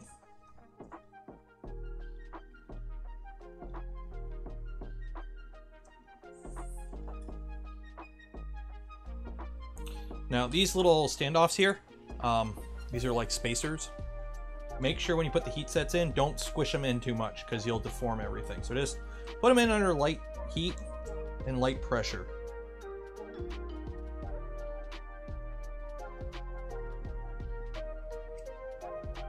It's very easy to deform them because they're very thin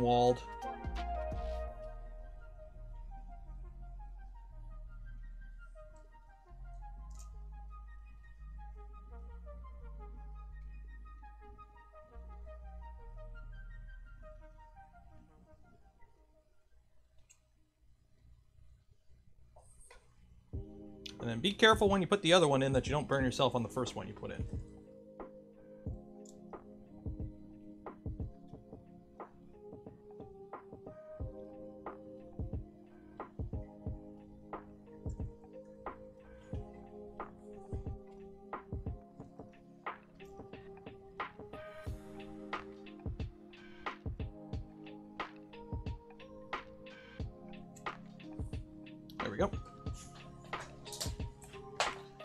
Tuning might be a great video to make. I hear you talk about it often on stream.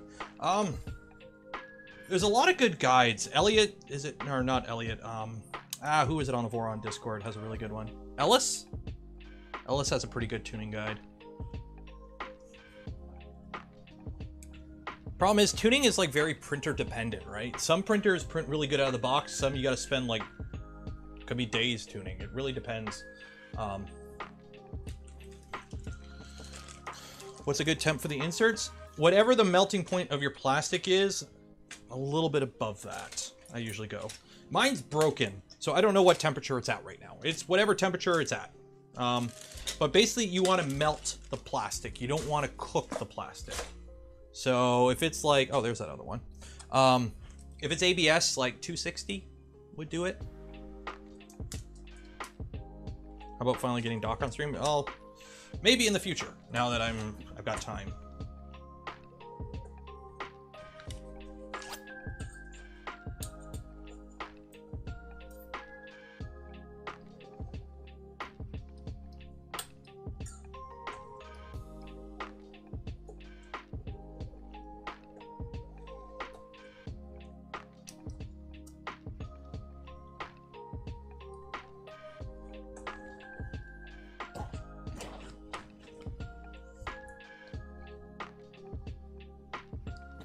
Matthew, thank you for becoming a member. I have the expensive heat set inserts from Ruthex, but they are not the adjustable height. No figure where Jason gets them from. Adjustable height heat set? What? If I don't remember wrong, using Super Slicer. Yeah, I use Super Slicer. Matthew, thank you for becoming a member. Is Doc the Dodge? No, Doc is not the Dodge. Let me see if the dog's outside. He's probably still hiding upstairs, though. He didn't come downstairs once. Normally I hear him at the door. Nope.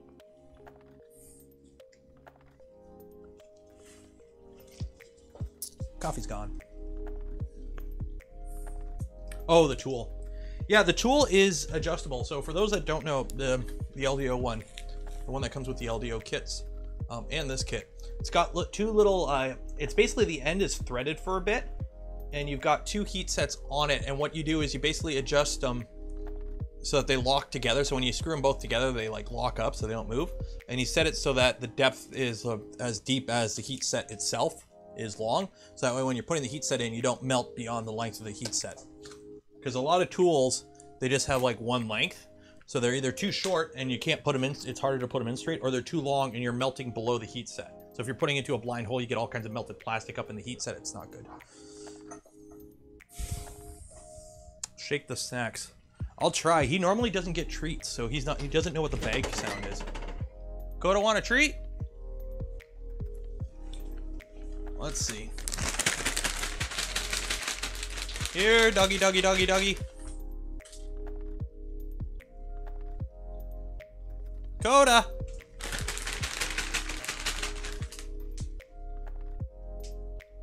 I don't hear him.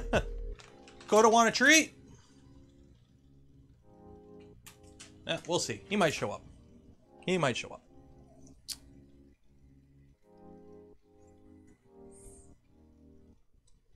Doggo denied. Doggo denied.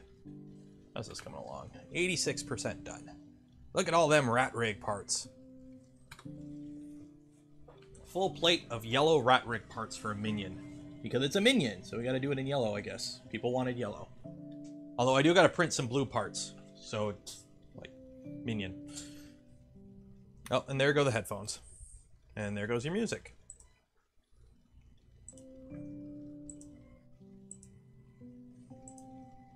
So I'm gonna end the stream there, guys. Um, for all those who hung out, hope you enjoyed the stream. I hope you learned something. We got this to the point. We'll do the tool head next, and then on to electronics, pretty much. So Friday night, uh, we'll carry on with the build. Um, Saturday, and then, or correction, sorry, Saturday we'll carry on with this build. Friday, uh, early afternoon, we're gonna do the CNC build. It's just a little desktop CNC. We'll get that built up, do a few test cuts, and play around, and just a, just an afternoon hangout on a Friday. Um, we'll carry this on Saturday. If we need to finish it up, we'll finish it up Tuesday. Um, my V Minion kit has shipped. That will be whatever shows up first, a Micron or a V Minion. I've, I think both are in the mail and both are on the way. Something was supposed to be delivered today. Let me go check.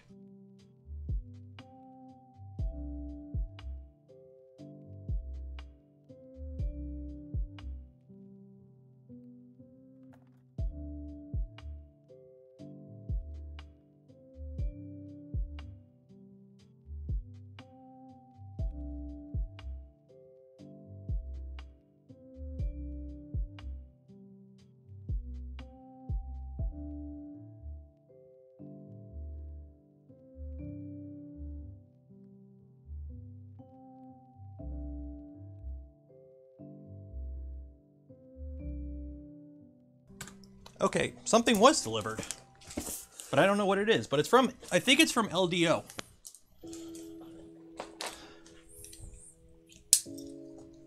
I don't know what it is.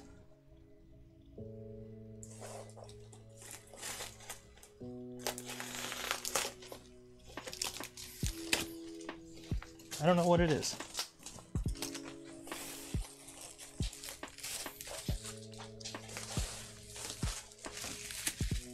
Panels? Are they panels? Did LDO just ship me random panels? okay, they're panels. So uh, I'm assuming this is part of uh, a kit. Because LDO is sending me, a, yeah, these are panels. Why did I get panels? Why did LDO send me panels?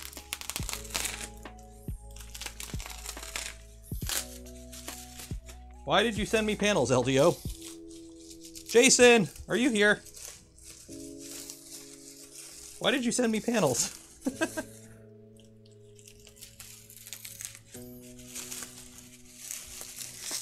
yeah, these are panels. Okay, well, I have panels here. Um, Jason, it's for the. I'm assuming it's for the V2 because they're square, and they're all the same size. Yeah, they're too small for this. They're too small for the Trident. So these are probably for the V2. Yeah, these are for the V2. I don't know where the rest of the printer is, but that's also on the way. So we've got a V Minion, uh, a Micron, and a V2 on the way. Um, one of the box. Okay, I got one of the boxes. So the V2, I'm gonna save. Whatever shows up first, the Minion or the Micron will be the first build, and then whatever one shows up second will be the second build, and then we'll do the V2. So that's the current plan. Two packages. Okay, so I guess they just sent one. Um, oop, I got a, a voicemail. Who called me? Who called me? Got a voicemail. Who is that from? Recents. Oh, DHL called. Okay. I probably owe them money for some reason. But anyways, we're gonna call the stream there. Um, four hours, that's usually what it is. We'll carry on with this build Saturday night. Friday, we are doing the little CNC. More streams in the future because it's my job. And you guys are awesome. For those that donated, you're awesome. For anyone who watched the stream, you're awesome. For anyone who became a member, you're awesome. You're all awesome. Enjoy the rest of your week. Be safe out there. Wash your hands. Cheers.